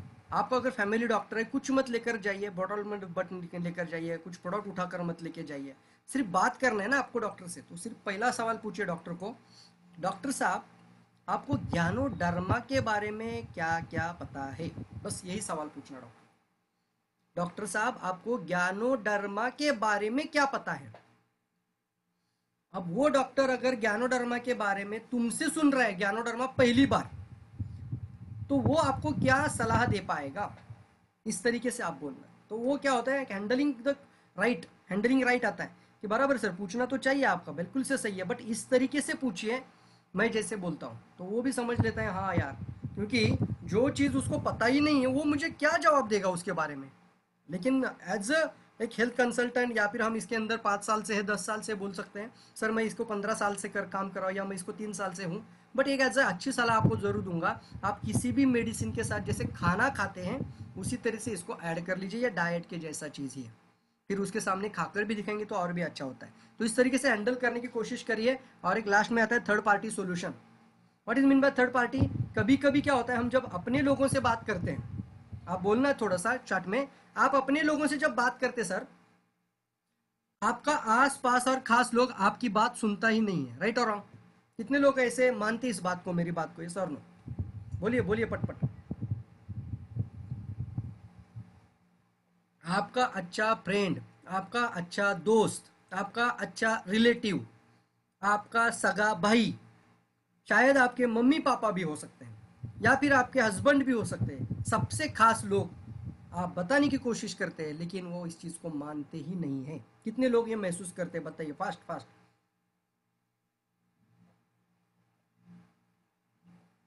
चाहे वो नेबर भी हो सकता है बाजू वाला भी हो सकता है कितने लोग मानते हैं इस बात को? वेरी गुड वेरी गुड बताइए फास्ट फास्ट वेरी गुड चलिए फास्ट वेरी गुड इतने लोग मानते हैं कि नहीं इतना बताने के बाद भी वो नहीं लेते हैं, क्योंकि हम कितना भी बताएँ, वो सुनता ही नहीं है। क्यों नहीं सुनता वो? क्योंकि उसको आपका पास्ट पता होता है। बात समझ लीजिए। उसको पता होता है अच्छा प्रवीण, मेरे गाँव में अगर मैं किसी को जाके बताओ अच्छा प्रवीण, क्या? वो प्रवीण गुरुजींचा मुलगा। ओहो ओके ओके तो पुण्याला गेला तो मुलगा का? अच्छा तो काय सांगतोय? अरे ह्या या प्रॉब्लेमवरती बोलत होता. काय यार त्याचा एकदम. जरा सरांची स्टाईल आली माझ्या डोक्यात. काय बोललो मैं आता? यही होता है क्योंकि उनको आपका पास्ट पता है साहब। वो आपको पहले से जानते थे। अब वो बोलते कि ये मुझे जाके क्या सिखाएगा? इसका तो मैं बचपन से देखकर आया हूँ। लाइफ कैसा था? अब ये हर बार कुछ नई नई कंपनी लेकर तो शायद यही बोल रहा है। ये होता ही है साहब। इसको आपको यहाँ पे आता है third party solution third party solution यहाँ पे ज़रूर लगाइए इसका मतलब क्या होता है? आप एक पार्टी है, सामने वाली एक पार्टी है, दो पार्टी यहाँ पे बात कर रहे हैं, लेकिन ये कनेक्ट नहीं हो पा रहे किधर भी। आप बता रहे वो नहीं सुन रहा है, वो कुछ बोल रहा है, आप आप भी बताने की कोशिश कर रहे हैं, समझाने की कोशिश, वो समझने की कोशिश नहीं कर रहे हैं कनेक्ट ही नहीं हो पा रहे। यहाँ पे आता है थर्ड पार्टी थर्ड पार्टी का मतलब क्या होता है? जब वो सामने वाले को बात करेंगे, आपका खुद के बारे में कंपनी के बारे में कुछ बोलने की ज़रूरत नहीं है। आप थर्ड पर्सन का उदाहरण देकर ज़रूर बताइए। थर्ड पर्सन का ज़रूर। जैसे अभी हम कभी कभी टेस्टिमोनियल का इस्तेमाल कर लेते हैं। बुक में टेस्टिमोनियल्स होते हैं ना तो हम क्या बोलते हैं इसको, ये प्रॉब्लम थी और फिर ये ठीक हो गया। इससे क्या होता है कि आप नहीं कुछ बोल रहे हो। आप किसी एक एग्ज़ाम्पल को सामने रख देते हो। सर, मैं एक ऐसे व्यक्ति को जानता हूँ, जो लाइफ में इस तरह से आए थे। एक ऐसा लड़का, आप, अभी तो बहुत सारे लोगों को आप जानते भी होंगे, अभी तो यूट्यूब चैनल पे भी आप देख रहे हैं। तो आप बोल सकते हैं पिछले हफ़्ते पहले या दो हफ़्ते पहले मैंने कैसे एक लड़की का प्रेजेंटेशन सुना। जिसने बीए पूरा किया। सॉरी बीए का फ़र्स्ट डिग्री पहला ईयर चला गई और पहले ईयर के बाद उसने कॉलेज छोड़ दिया और फिर उसने डीएक्सन करना शुरू किया। एक साधारण सी लड़की कॉलेज स्टूडेंट आज डीएक्सन के अंदर दो साल में मिलीनियर बन चुकी है। तो आपने अपना नहीं बताया, ना कंपनी ने बताया। आपने क्या बताया? थर्ड पर्सन का एग्ज़ाम्पल अब सामने वाला अगर स्टूडेंट है तो उसमें वो ऊर्जा आएगी। अगर वो कर सकती है तो शायद मैं भी कर सकती हूँ। इसको थर्ड पार्टी बोल सकते हैं। अगर आप बोलेंगे कि हाँ ये बहुत अच्छा है, आप आप कंफ्यूज कर लेंगे उसको, या फिर कन्विंस नहीं हो पाएगा वो। लेकिन थर्ड पार्टी सॉल्यूशन वहाँ पे आता है, जहाँ पे आमने सामने लोग जब सुनने के लिए तैयार ना हो, या फिर आस पास और खास लोग हो, वहाँ पे ये ज़रूर इस्तेमाल कर ली। ऐसे तो कई सारे ऑब्जेक्शन है। ये तो ऑब्जेक्शन हैंडलिंग टॉपिक है ना। ये एक एक टॉपिक एक दिन बात किया जा सकता है, इतना बड़ा टॉपिक है। एक दिन बात कर सकते इसके ऊपर पूरा। ये बहुत पावरफुल टॉपिक है ऑब्जेक्शन हैंडलिंग मुझे लगता है कि कभी ना कभी ये मेरे दिमाग में रहता है कि हमारी टीम या लोगों के साथ सिर्फ़ ऑब्जेक्शन हैंडलिंग पे ज़्यादा बात की जाए तो बहुत अच्छा रहेगा। अलग अलग तरह के ऑब्जेक्शन अब ये तो मैंने हेल्थ के ऑब्जेक्शन बताए वेल्थ के भी आते हैं। रिगार्डिंग नेटवर्क मार्केटिंग के भी ऑब्जेक्शन आते हैं। रिगार्डिंग समय नहीं है, लोग बोलते हैं, मेरे पास सर समय नहीं है। मैं इतने बजे आता हूँ, इतने बजे जाता हूँ, फिर मैं घर पे रहता हूँ, मुझे समय नहीं है। एक हाउसवाइफ बोलती है, मेरे हस्बैंड मानते ही नहीं इस चीज़ को। तो ऐसे ऑब्जेक्शन को कैसे हैंडल करें? इसके लिए मुझे लगता है बहुत ज़्यादा समय की ज़रूरत है और ये सारे ऑब्जेक्शन के जवाब होते हैं साहब। एक एक जो ऑब्जेक्शन को ढूंढिए, उसके जवाब लिखिए स्क्रिप्ट में। आदत बना लीजिए इस चीज़ को और ज़िंदगी भर वो सवाल का जवाब आप, आपके पास एक फॉर्मूला के जैसे बिटेगा। लाइफ टाइम के लिए बैठ जाएगा और फिर आप एक अच्छा सेल्स प्रोफेशन बन जाते हो। एक बढ़िया से बढ़िया एक अच्छा बात करने वाला बंदा भी बन सकते हैं या फिर किसी को भी इस प्रॉब्लम की बाहर निकाल सकते हैं। एक अच्छी चीज़ आपको बताना चाहता हूँ प्रेजेंटेशन के दौरान है। हमेशा ध्यान में रखिए प्रॉस्पेक्ट जो होता है, उसकी कुछ इच्छाएँ होती है और कुछ ज़रूरत होती है और कुछ उसकी नीड होती है। नीड एंड वांट बोला जाता है। जैसे विजिबल और इनविजिबल नीड होती है। विजिबल और इनविजिबल मतलब वो चाहता भी है बट उसको पता ही नहीं है। वो चाहता है, लेकिन उसको पता ही नहीं था। जैसे जॉब छोड़ना कौन नहीं इच्छा रखता? सबको इच्छा है। जॉब रिजाइन करना चाहिए और फ्री मैन बनना चाहिए। लेकिन उसको पता ही नहीं कि वो कर सकता है। या फिर अपना शादी से पहले खुद का फोर व्हीलर होना। ये एक इनविजिबल नीड है सर एक लड़के को बात करते हुए, एक लड़की से बात करते हुए, एक स्टूडेंट एज में बात करते हुए, उसको शादी से पहले खुद की फोर व्हीलर होना चाहिए। ये एक इनविजिबल नीड है। ये उनको पता है कि हो सकता है, लेकिन उनको किसी ने बोला ही नहीं आज तक कि वो कर सकते हैं। इसीलिए मैं बताना चाहूँगा कि ये जो चीज़ होती है, इसके अंदर हमें समझना चाहिए कि कस्टमर के जो मन होते हैं, यानी कस्टमर का जो एक दिमाग होता है, उसके अंदर उसकी इच्छाएँ क्या क्या है? इच्छाएँ और ज़रूरत क्या क्या है? नीड एंड वांट्स क्या क्या है? क्या क्या वांट है क्या क्या नीड है? फिर इनविजिबल मतलब क्या है और विजिबल क्या क्या है? अलग अलग होते हैं तो उसको निकाल लीजिए और कस्टमर की इच्छाओं को मतलब एक पहला रूल बताना चाहता हूँ, इसको बोलते हैं first cardinal rule in selling first cardinal ruling selling, इसका मतलब है कि हमारी बिक्री के कौशल्य के अंदर का सबसे एक कार्डिनल नियम, और वो पहला नियम है, कस्टमर की इच्छाओं को और उनकी आवश्यकता को उनकी ज़रूरत में परिवर्तित कर दो। उस लड़के को अगर आपने बोला कि तुम डीएक्सएन इसलिए करना कि ताकि तुम्हारी शादी में तो दूसरी की गाड़ी वहाँ पे भाड़े पे नहीं लेके आएगा, खुद की गाड़ी से ही अपनी बारात सजाएगा। ऐसा बोलना ज़रूर होता है। इसको बोलते हैं, आपने उसकी इच्छा को एक ज़रूरत बनाकर छोड़ दिया। ये आदत बनाना अपने आप में, ये कार्डिनल रूल है। कार्डिनल नियम है, इच्छाओं को ज़रूरत में सेल्स के अंदर का फ़र्स्ट कार्डिनल रूल ये जो प्रेजेंटेशन के अंदर है फ़र्स्ट कार्डिनल रूल उसकी इच्छा को ज़रूरत में कन्वर्ट कर दीजिए। और एक कन्वर्ट करता हूँ, दूसरा रूल है कार्डिनल रूल का सेकंड रूल आता है। कभी भी ध्यान में रखिए, हम जब भी कुछ सीखते हैं तो हमारा साइंस अच्छा हो जाता है। सेलिंग सेलिंग स्किल के अंदर सेल्स में दो चीज़ें होती है। एक साइंस होता है और दूसरा आर्ट होता है। एक होता है साइंस और दूसरा क्या होता है? आर्ट तो यहाँ पे एक मेन चीज़ बताना चाहूँगा आपको कि एज एक अच्छा सेल्स प्रोफेशन अगर ये प्रेजेंटेशन आप सुन रहे हैं तो ये सुनना, समझना, इसको बारीकी से समझना और फिर मार्केट में अप्लाई करना, ये एक साइंस है पहले। समझना, सीखना नॉलेज लेना। अभी नॉलेज ले रहे आपका साइंस परफेक्ट हो रहा है। शास्त्र। ये शास्त्र है ना? जैसे देखिए सेलिंग के कुछ स्टेप्स है। नेटवर्क मार्केटिंग के अंदर सबसे पहले सस्पेक्टिंग यानी हम किसी को जाने से पहले सोचना उसके बारे में। उसको मुझे जाकर क्या बताना है, वो मुझे क्या बोलेगा तो मैं क्या बोलूँगा, इसको पहले से ही दिमाग में रखना मतलब सस्पेक्टिंग राइट जो भी सस्पेक्टिंग है, उसका लड़की का शादी करना है या फिर उसको जॉब नहीं मिल रही है, वो जॉब करता है, लेकिन वो बहुत प्रॉब्लम में रहता है, उसको सैलरी बहुत कम मिलती है, पता है आपको सारी चीज़ें। तो सस्पेक्टिंग करना। या फिर इसका जानकारी लेना किसी से सस्पेक्टिंग प्रोस्पेक्टिंग यानी अप्रोच करना। अब अप्रोच की ज़रूरत होती है तो वहाँ पे प्रोस्पेक्टिंग सीखना। कॉलिंग इनविटेशन अपॉइंटमेंट ये सारी चीज़ें हम सिखा रहे डायरेक्ट सेलिंग के अंदर। प्रेजेंटेशन देना शो अप करना फॉलोअप करना। अभी हमने लिसनिंग स्किल के ऊपर भी एक अच्छा प्रेजेंटेशन दिया था लास्ट टाइम सिर्फ़ सुनने के ऊपर कितना बड़ा बात हुआ था वहाँ पे। और सुनना कितना ज़रूरी है, और सुनने के क्या क्या फ़ायदे हैं। सिर्फ़ सुनने के फ़ायदे। कभी कभी बिना बोले से भी सेल हो सकता है बिकॉज़ ऑफ़ द सुनना। ये भी हमने प्रेजेंट किया सारा सीखना है ना ये objection handling closing follow up techniques ये सारा, ये सुनना, ये एक आपके लिए शास्त्र है। बट मैं बात करता हूँ आपको, और ये आई थिंक मेरा लास्ट का प्रेजेंट का स्लाइड बना लेता हूँ इसको मैं, क्योंकि समय ज़्यादा हो रहा है।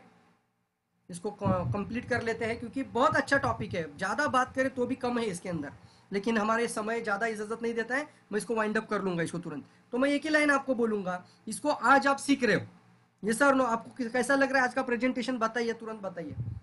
आपको आज क्या क्या अच्छा लगा, क्या सीखने को मिला? कुछ भी आप अपनी लाइन में बोल दीजिए। मुझे भी थोड़ा देखने में, सुनने में अच्छा लगेगा। जो भी आपके मन को अच्छा लगा होगा, बताइए सर। जो भी आपके मन को लगा होगा, बोलिए बोलिए साहब प्रेजेंटेशन आपको मेरा आगे का लाइन बहुत इंपॉर्टेंट है इसके ऊपर। कैसा लगा? अगर कभी भी देखिए कैसा लगा, क्यों कैसा लगा, कौन सी बात अच्छी लगी, ज़रूर बताइए लोगों को। किसी का भी तारीफ़ करना कभी मत छोड़िए। इस इंडस्ट्री में आप आए हो ना, लोगों को अपना बनाने का एक स्किल आपको बताना चाहता हूँ। उनकी तारीफ़ ज़रूर, जहाँ मौका मिले वहाँ तारीफ़ करने का मौका कभी मत गवाइए। और तारीफ़ करने का एक रूल बता देता हूँ, तारीफ़ कभी भी वे इंसान की मत करिए। तारीफ़ उसके अंदर जो आप गुण देखा, उस गुणों की तारीफ़ करिए तो ये रियल हो जाता है। बहुत अच्छा है कि आप किसी को तारीफ़ करते वक्त अगर आप किसी को बोलते कि आप, तुम बहुत सुंदर दिख रहे हो आज। इससे अच्छा है कि आज तुमने जो ड्रेस पहनी है ना वाह बहुत ही बढ़िया ड्रेस पहनी है। आज तुमने जो हेयर स्टाइल किया ना माय गॉड बहुत अच्छा दिख रहे हो।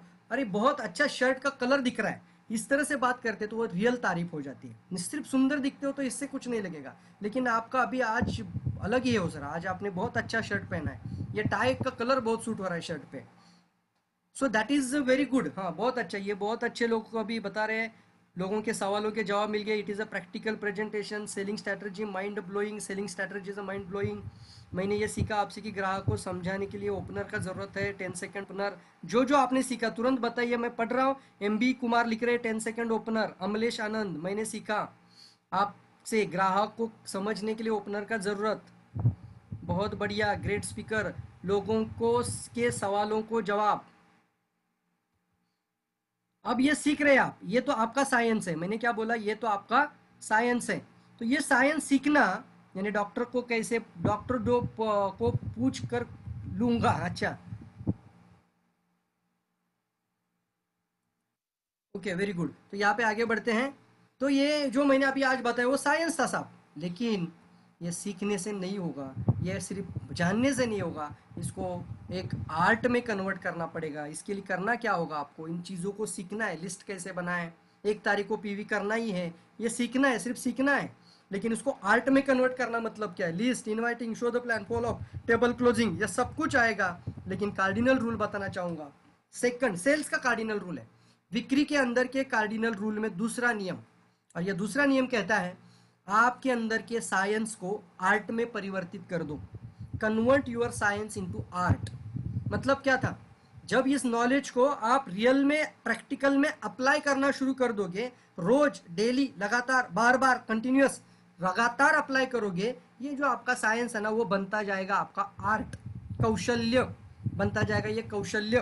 तो ये कौशल्य के साथ आप आगे जाना। दिस इज़ हमारा लास्ट स्लाइड है। कुछ आइडियाज़ हमने की थी इस तरह के टेन सेकेंड ओपनर या फिर अटेंशन के लिए। ये देखिए अटेंशन का कुछ आइडिया आपको दिखा रहा हूँ। जब हमारे पास सैशे वाला चाय नहीं था, मसाला डिप जैसा या स्पाइसी चाय जैसा कुछ नहीं था, डब्बा था तो हमने इस तरह की आइडिया लगाई थी कि घर घर में ये सैशे से शुरुआत करो ताकि कम से कम लोगों को अटेंशन लेना चाहिए। ये कॉफ़ी का सैशे फिर एक अटेंशन के लिए अच्छा यूज़ कर सकते हैं। किसी को एक कॉफ़ी का सैशे दे दो, फिर बाद में बोलना कैसा लगा, फिर कॉफ़ी के बारे में बात करना। अटेंशन अटेंशन देखिए अटेंशन ऋषि ज्ञानोटी अटेंशन के लिए लगा है। देखो मेडिकल काउंटर पे लगा दिया। अटेंशन हो रहा है। तो क्या हो रहा है? सर एक एसिडिटी का दवा देना। सर मुझे बहुत पित्त का प्रॉब्लेम है। दादा मुझे एक ॲसिडिटीची दवा मेडिसिन दे। त्यावेळेला तो वाचणार याच्यावरती. हा चहा पिल्यानंतर पित्ताचा त्रास कमी होतो. तिथे लावा. दुकानदाराचा फायदा करून द्या. शॉपकीपरचा फायदा करून द्या. सलूनवाल्याचा फायदा करून द्या. सलूनच्या मध्ये एक शॉप लावून द्या तिथं. तिथं लोक कमीत कमी पाच मिनटं नाही पन्नास मिनटं कुणी एक तास, दोन तास वेटिंगमध्ये पण असतात. तिथे एखादं बुक ठेवा. तिथं हे काउंटर प्लॅन लावून ठेवा. हे हे टार्गेट अटेन्शन ब्यूटी पार्लर्स यांना ज्वाइन करा टीम मध्ये. अटेंशन बहुत बड़ा मार्केट है.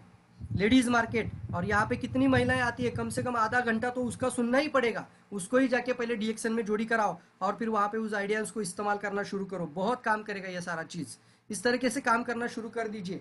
ये बहुत इंपॉर्टेंट है और एंड में यही बात आती है कि सब कुछ होता है स्किल के साथ बट एक मोहन चीज़ बहुत इंपॉर्टेंट है। Will is little more important than skill मतलब आपके अंदरूनी जो इच्छा होती है आगे बढ़ने की, कुछ कर, गुजरने की, वो आपके स्किल से कई गुना बेहतर हो जाती है कभी कभी तो इसके लिए उदाहरण है, माइक, यहाँ पे ये ये जो है मोहम्मद अली, ये लड़ाई में बहुत पावरफुल है मतलब बॉक्सिंग चैंपियन है। इसका एक मुक्का का वज़न पूरे वर्ल्ड में किसी का इसका पावर नहीं था। लेकिन ये भी कभी ना कभी गिर जाता है। और जब गिर जाता है रेपरी काउंट करता है, ये सिर्फ़ एक ही लाइन बोलता है हमेशा मन में। I am the greatest I am the champion I am the greatest I am the champion I am the greatest I am the champion और फिर एक जगह पे उसको मौका मिलता है, एक ही पंच लगाता है, और सामने वाला ढेर। क्या कहना चाहता हूँ? कभी कभी आपका स्किल से ज़्यादा आपका अंदरूनी इच्छा, कुछ करने की इच्छा स्किल से ज़्यादा कभी कभी विल पावर बहुत काम कर देता है। उदाहरण के तौर पे दूसरा है will is little more than important than skill will is little more important than skill इसके लिए अर्जुन के पास स्किल था, लेकिन उसके पास विल नहीं था। यस और नो अर्जुन के पास बहुत अच्छा स्किल था, लेकिन उसको विल नहीं था। किसने विल का पावर दिया? वो पावर दिया श्री कृष्ण ने। और चीज़ बताता हो। हनुमान के पास सात समंदर छलांग लगाने की पावर थी, लेकिन वो भूल चुका था। बचपन में उसने जब छलांग लगाई थी, तब वो सूरज को निगलने गया था। उस समय पे जामुवंत ने उसको देखा था। उसको पावर जामुवंत को पता थी, लेकिन हनुमान भूल चुका था। अब राम जी बोल रहे कि जाओ श्रीलंका और वहाँ पे जाओ और ये अंगूठी लेकर जाओ। अब हनुमान बोल रहे अरे कहा श्रीलंका? कहा मैं हूँ? इतना बड़ा समंदर, कैसे मैं जा पाऊँगा? जामुन जाए अरे हनुमान भूल गए क्या यार? तुम जब छोटा सा बच्चा था, तब तुम सिगोरज को निकल निकलने चला गया था। और तुम्हें पता है, इतनी पावर तुम्हारे अंदर है। तो क्या किया उन्होंने? विल की उनको ज़रूरत थी। तो एक अच्छा सेल्स प्रोफेशन के अंदर मैं बताना चाहता हूँ, एक अच्छा डायरेक्ट सेल प्रोफेशन के अंदर, एक अच्छा लीडर के अंदर भी आपकी टीम में भी ज़रूर देखना किसके पास विल है और किसके पास स्किल है। जिसके पास स्किल अच्छा है, बहुत अच्छा बात करता है, बहुत अच्छा प्रेजेंटेशन देता है, लेकिन उसके पास विल ही नहीं होता, घर से बाहर ही नहीं निकलता। विल कैसे बनेगा उसका? उसका ड्रीम फ़ाइल बनाओ। उसका टारगेट सेट करो, उसका गोल सेटिंग करो, उसको प्लानिंग दो, उसको तीन महीने का टारगेट बनाओ तो विल बन जाएगा। उनको प्लानिंग दो प्रॉपर तरीके से आगे लेके जाओ। तो ये हमेशा ध्यान में रखिए, एक अच्छा मैनेजर हमेशा ध्यान देता है अपनी टीम में कि जिसके पास स्किल नहीं है, उसको स्किल दो, जिसके पास विल नहीं है, उसको विल दो। तो इसको समझना है और एक बढ़िया से टीम बनाना है। और आज जो जो बात की है, उसको आर्ट में कन्वर्ट करने के लिए मार्केट में चले जाना है। ज़्यादा से ज़्यादा लोगों से बातें करते रहना है। प्रेजेंटेशन ज़्यादा से ज़्यादा देना शुरू कर दीजिए। अभी तो मुझे पता है आप शायद घर से बाहर नहीं निकल सकते। वन टू वन प्रेजेंट करना शुरू कर दीजिए। One to one online meeting करना शुरू कर दीजिए। वीडियो कॉलिंग करिए व्हाट्सअप वीडियो कॉल करिए, या फिर कॉन्फ्रेंस कॉलिंग पे बात करिए। तीन तीन लोगों को लेकर बात करिए। लेकिन इसी से ही आपको सक्सेसफुल मिलेगा।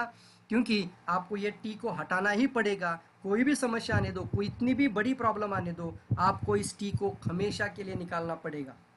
क्योंकि इससे बगैर कोई दूसरा रास्ता ही नहीं है। आपको जहाँ पे भी है, ज़ोर से बोल सकते हैं आई कैन बोलिए बोलिए। ज़ोर से बोल दीजिए आई कैन शंभर करोड किती लोकांना कमवायचे, त्यांनी बरोबर सात वाजता लाईव्ह यायचं पुढच्या बारह वर्षाची प्लॅनिंग दिली जाणार आहे आज आरबीसी चॅनलवरती बारह साल का प्लानिंग दिया जाएगा और यह आपको बहुत बड़ी ताकत दे जाएगा. ये बहुत बड़ा पावर है। आपको अपनी सक्सेस की कीमत तो अदा करनी ही पड़ेगी. डीएक्सएन में कितना चाहिए उतना मिलेगा। पैसा कितना कमाना चाहते हो? एक लाख, दो लाख, पाँच लाख, दस लाख। अभी तो आपके सामने इस तरह की स्ट्रैटेजीज प्लानिंग के साथ आ रही है। कि हंड्रेड करोड़ भी इनकम कमाया जा सकता है। सौ करोड़, यानी सौ करोड़ का मतलब भी होता है, खुद का चार्टर्ड प्लेन भी आने वाले दस साल में ले सकते हैं। अगर आज वो माइंडसेट होगा तो। और वो लेने के लिए, वो पाने के लिए आप अपनी खुद की पे द प्राइस मतलब सक्सेसफुल तो होना चाहते हैं, सफल तो बनना सभी चाहते हैं, लेकिन उसकी कीमत अदा करनी पड़ती है। और उसकी कीमत अदा करने के लिए अगर आप लोग तैयार हैं तो आपको कोई नहीं रोक सकता, सर। सचिन तेंदुलकर का उदाहरण हमेशा दिया जाता है। और ये सचिन जो है ये is a god of the cricketer एक जर्नलिस्ट ने उसको सवाल पूछा। देखो पे द प्राइस का एग्ज़ाम्पल बताता हूँ। This is my last slide तो ये पे द प्राइस का है। ये क्या बोल रहे हैं? एक दिन जर्नलिस्ट को सवाल पूछा। सचिन तेंदुलकर की हमेशा आदत बनी थी और उसकी आदत थी, हर दिन सुबह उठने के बाद 500 बॉल की प्रैक्टिस करता था वो। हर दिन सुबह जल्दी उठकर 500 बॉल्स गेंद उसकी वो प्रैक्टिस करता था डेली तो एक दिन जर्नलिस्ट को सवाल पूछा सर, हम जब उठते हैं तो हम पहला व्हाट्सअप देखते हैं फेसबुक देखते हैं, या फिर कौन चैटिंग किया वो देखते हैं। मेरा फेसबुक के किस, कितने फ़ोटो मैंने डाले थे और फेसबुक कितने कमेंट आए, वो हम देखते हैं। या फिर मैं, आपकी कल मैच हुई थी तो मैं पहला पेज देखना पसंद करता हूँ सुबह उठने के बाद कि क्रिकेट में जो सचिन ने जो कारनामा करके दिखाया ऑस्ट्रेलिया में, उसके बारे में क्या छपकर आया है, वो देखने के लिए मैं जाता हूँ। आप कभी लालायत नहीं होते कि आप ये प्रैक्टिस करने के बजाय सुबह उठकर ये व्हाट्सअप फेसबुक या पेपर न्यूज़पेपर में अपने बारे में क्या कैप्शन डाला है? आपको कभी ये इच्छा नहीं हुई कि आप वो सारा जो प्रैक्टिस का काम छोड़कर वो पेपर देखकर बैठे? सचिन ने बहुत अच्छा जवाब दिया था। ऐसे ही नहीं वो लोग सफल बनते। और लाइफ के अंदर अगर बात किया जाए तो इस तरह के लोग होते जो गॉड ऑफ़ द क्रिकेटर क्योंकि उस क्षेत्र के अंदर वो गॉड बनने का कारण बताया उन्होंने उसके। वो बोला, मैं एक दिन भी मतलब डेली का मेरा प्रैक्टिस होता है ना 500 बॉल्स अगर मैं एक दिन वो मेरा प्रैक्टिस छोड़कर ये देखने जाऊँ व्हाट्सअप में क्या चल रहा है फेसबुक में क्या चल रहा है पेपर में, मेरे बारे में क्या छप कर आया है, अगर ये देखने के लिए मैं मेरा समय निकालूं और मैं ये मेरी प्रैक्टिस छोड़ दूँ तो शायद मैं जहाँ तक आया था, बात को समझ लीजिए, मैं जहाँ तक आया था, वहीं पे रह जाऊँगा। वहीं पे रह जाऊँगा या फिर इससे आगे की प्रगति यानी प्रोग्रेस मेरी रुक जाएगी। तो मैं हर दिन अपने आप को और आगे और आगे और आगे लेके जाने के लिए कंटिन्यूसली निरंतर, रोज प्रैक्टिस प्रैक्टिस प्रैक्टिस और प्रैक्टिस ही करता हूँ। इसीलिए मैं हर मैच को अभी इस तरह से मतलब इस तरह से उसने जवाब दिया था, हर दिन मैं करता हूँ, क्योंकि मैं पीछे रहना नहीं चाहता। आप हर दिन क्या करते हैं, इसी के ऊपर आपका सक्सेसफुल है। इसलिए मैं एक ही बताना चाहता हूँ, उन लोगों ने इसीलिए वो गॉड ऑफ़ द क्रिकेटर है because pay the price for success वो सक्सेस होने के लिए, वो सफलता के लिए। अगर डीएक्सन आपको 100 करोड़ कमाने के लिए, ताकत देने के लिए तैयार है बट क्या उस रास्ते पे चलने के लिए आप उस कीमत को अदा करने के लिए तैयार हैं? अगर है तो कमेंट में लिख दीजिए यस ज़ोर से लिखिए, या फिर ज़ोर से भी यस बोल सकते हैं प्रेजेंटेशन के दौर में। घर में बोलिए, कोई बोलेगा पागल हो गए, बोल सकते यस हम पागल हो चुके हैं अभी। और पूरी ताकत लगा दीजिए। हम सब आपके साथ हैं और पूरी हिस्ट्री बना दीजिए। Let's make create a history together and all the best wish you crown ambassador with the millions of the million income thank you very much thank you all of you पूरा presentation सुनने के लिए thank you thank you thank you thank you for the all thank you Praveen sir thank you Praveen sir आप. आ गए। Thank you thank you Mishra sir sir आज का presentation sir आपका बहुत ज़बरदस्त रहा सर शायद है कि जितने लोग शुरू से अभी तक सुने होंगे उनके सारे सवालों का जवाब आज मिल गया होगा। और मैं ऐसा उम्मीद रखता हूँ कैसा आप हमेशा पूरा मुंबई और महाराष्ट्र को सारे लोगों को आप सपोर्ट करते रहेंगे। साथ ही साथ मैं डॉक्टर फिरोज सारंग सर का आज का जो सर उनकी होस्टिंग थी वो ज़बरदस्त रही सर। आपको. जो इनवाइट किए तो उनको बहुत बढ़िया ढंग से उन्होंने इनवाइट किया। ये सर काबिल तारीफ़ है तो मैं डॉक्टर सारंग सर को भी बहुत बहुत धन्यवाद बोलूँगा। और आज ही हमारी अपलाइन आर डी पटेल साहब इलाहाबाद से सुन रहे हैं, हमारे लोगों का सौभाग्य है। हम मुंबई वालों की तरफ़ से मैं उनका बहुत बहुत आभार व्यक्त करूँगा इतना टाइम से लगातार वो सुन रहे हैं। और पूरे प्रेजेंटेशन को जो अभी तक, पहले से लेकर अभी तक जितने लोग सुन रहे हैं, मैं उनको बहुत बहुत धन्यवाद दूँगा कि आज सारी ऑडियंस ने इस प्रोग्राम को प्रवीण सर का प्रोग्राम सुन के वो अपने बिज़नेस को बढ़ाएँगे और आगे बढ़ेंगे। इन्हीं शब्दों के साथ मैं विराम करता हूँ इस मीटिंग को। थैंक यू वेरी मच एक ही है बात है नॉलेज होता है। धन्यवाद। Sir Mishra sir. हाँ। नॉलेज बहुत होता है। अभी सभी लोगों के पास नॉलेज जाना ज़रूरी है अभी मैं मानता हूँ। लेकिन हम सब लोग एक तारीख को बहुत बड़ी ताकत लगाने के लिए तैयार हो चुके हैं। तैयार है सब लोग आप लोग? सर पूरी तरह पूरी तरह सर अभी यही हम लोग बीच में चला है हाँ एक चीज़ और बताना चाहूँ जो लोग सुन रहे हैं अपने टीम में ज़रूर एक जो पंद्रह दिन बचा हुआ है महाराष्ट्र के हों चाहे हम्म। कहीं को हमें महाराष्ट्र हर स्टेट हर इंडिया को आगे ले जो स्टार एजेंट के नीचे हैं हर एक तारीख को उनसे पंद्रह सौ पीवी कंप्लीट करवाइए और जो स्टार एजेंट से ऊपर के किसी भी स्टेटस पे हैं एक तारीख को पैंतीस सौ पीवी कंप्लीट करें या उससे ज़्यादा करें यही हम लोग उम्मीद है क्योंकि प्रोफेसर सर जो आरबीसी चैनल को डेली चला रहे इस उम्र में प्रोफेसर सर इतना उत्सुक हैं तो हमारा आपका फ़र्ज़ है उनका सपोर्ट करें बिज़नेस के माध्यम से और इंडिया को नंबर वन पे ले जाने के श्योर सर पक्का you. 100%. और जिन लोगों. का अभी तक जो स्टार्टिंग नीचे पंद्रह सौ पीबी नहीं हुआ पंद्रह सौ करें और जो पैंतीस सौ नहीं किए हुआ है वो पैंतीस सौ पीबी कंप्लीट करके अपने अपने स्टेट और सारे स्टेट वाले मिल के इंडिया को नंबर वन पे लेके जाएँ और प्रोफेसर साहब को नंबर वन बनाएँ। इन्हीं शब्दों के साथ मैं विराम करता हूँ। Thank you Praveen sir once again thank you आपने बहुत ज़बरदस्त प्रेजेंटेशन दिया था। थैंक यू सर थोड़ा सा लेंदी हो गया लेकिन थोड़ा सा एक्साइटेड में था। तो अलग अलग उदाहरणों के साथ नहीं कुछ सर बहुत बढ़िया हो गया वैसे भी तीन घंटे का मुझे पता है सर अच्छा बहुत है। बढ़िया हो। सर, हमको हमको तो पता भी नहीं चला। हमको तो पता भी नहीं चला कि ये टाइम कब कहाँ चला गया। अब हम घड़ी देख रहे हैं तो लग रहा है कि हाँ। पाँच बजने वाले हैं। But really it was very very exciting और हम कहीं भी बिल्कुल भी बोर नहीं हुए। आप एकदम ट्रैक पे थे और बहुत ही हाँ। अच्छा आपने प्रेजेंटेशन दिया। आप हमेशा हमारे आदर्श रहे हैं। हमने आपको बहुत सुना है। और आज मज़ा आ गया sir. Thank you very much thank you Shyam sir Shyam sir. Thank you और सभी लोगों को एक ही कहना चाहता हूँ एक लास्ट में। अभी फ्रेश हो जाइए और सात बजे आ जाइए चैनल पे। सब लोग डीएक्सएन आरबीसी चैनल पे सब लोग मिलेंगे। और अपना नाम अपना प्लेस और अपना टीम लीडर का नाम ज़रूर लिखिए। और अपनी प्रेजेंटी तुरंत सात बजने से पहले पाँच बजे पहले देना शुरू कर दीजिए। क्योंकि आज की प्रेजेंटेशन बहुत ज़बरदस्त है। माइंड सेट सेट करने वाला प्रेजेंटेशन आ रहा है। तो thank you all of you thank you Shyam sir okay thank you Praveen sir sir thank you thank you thank you thank you sir thank you thank you thank you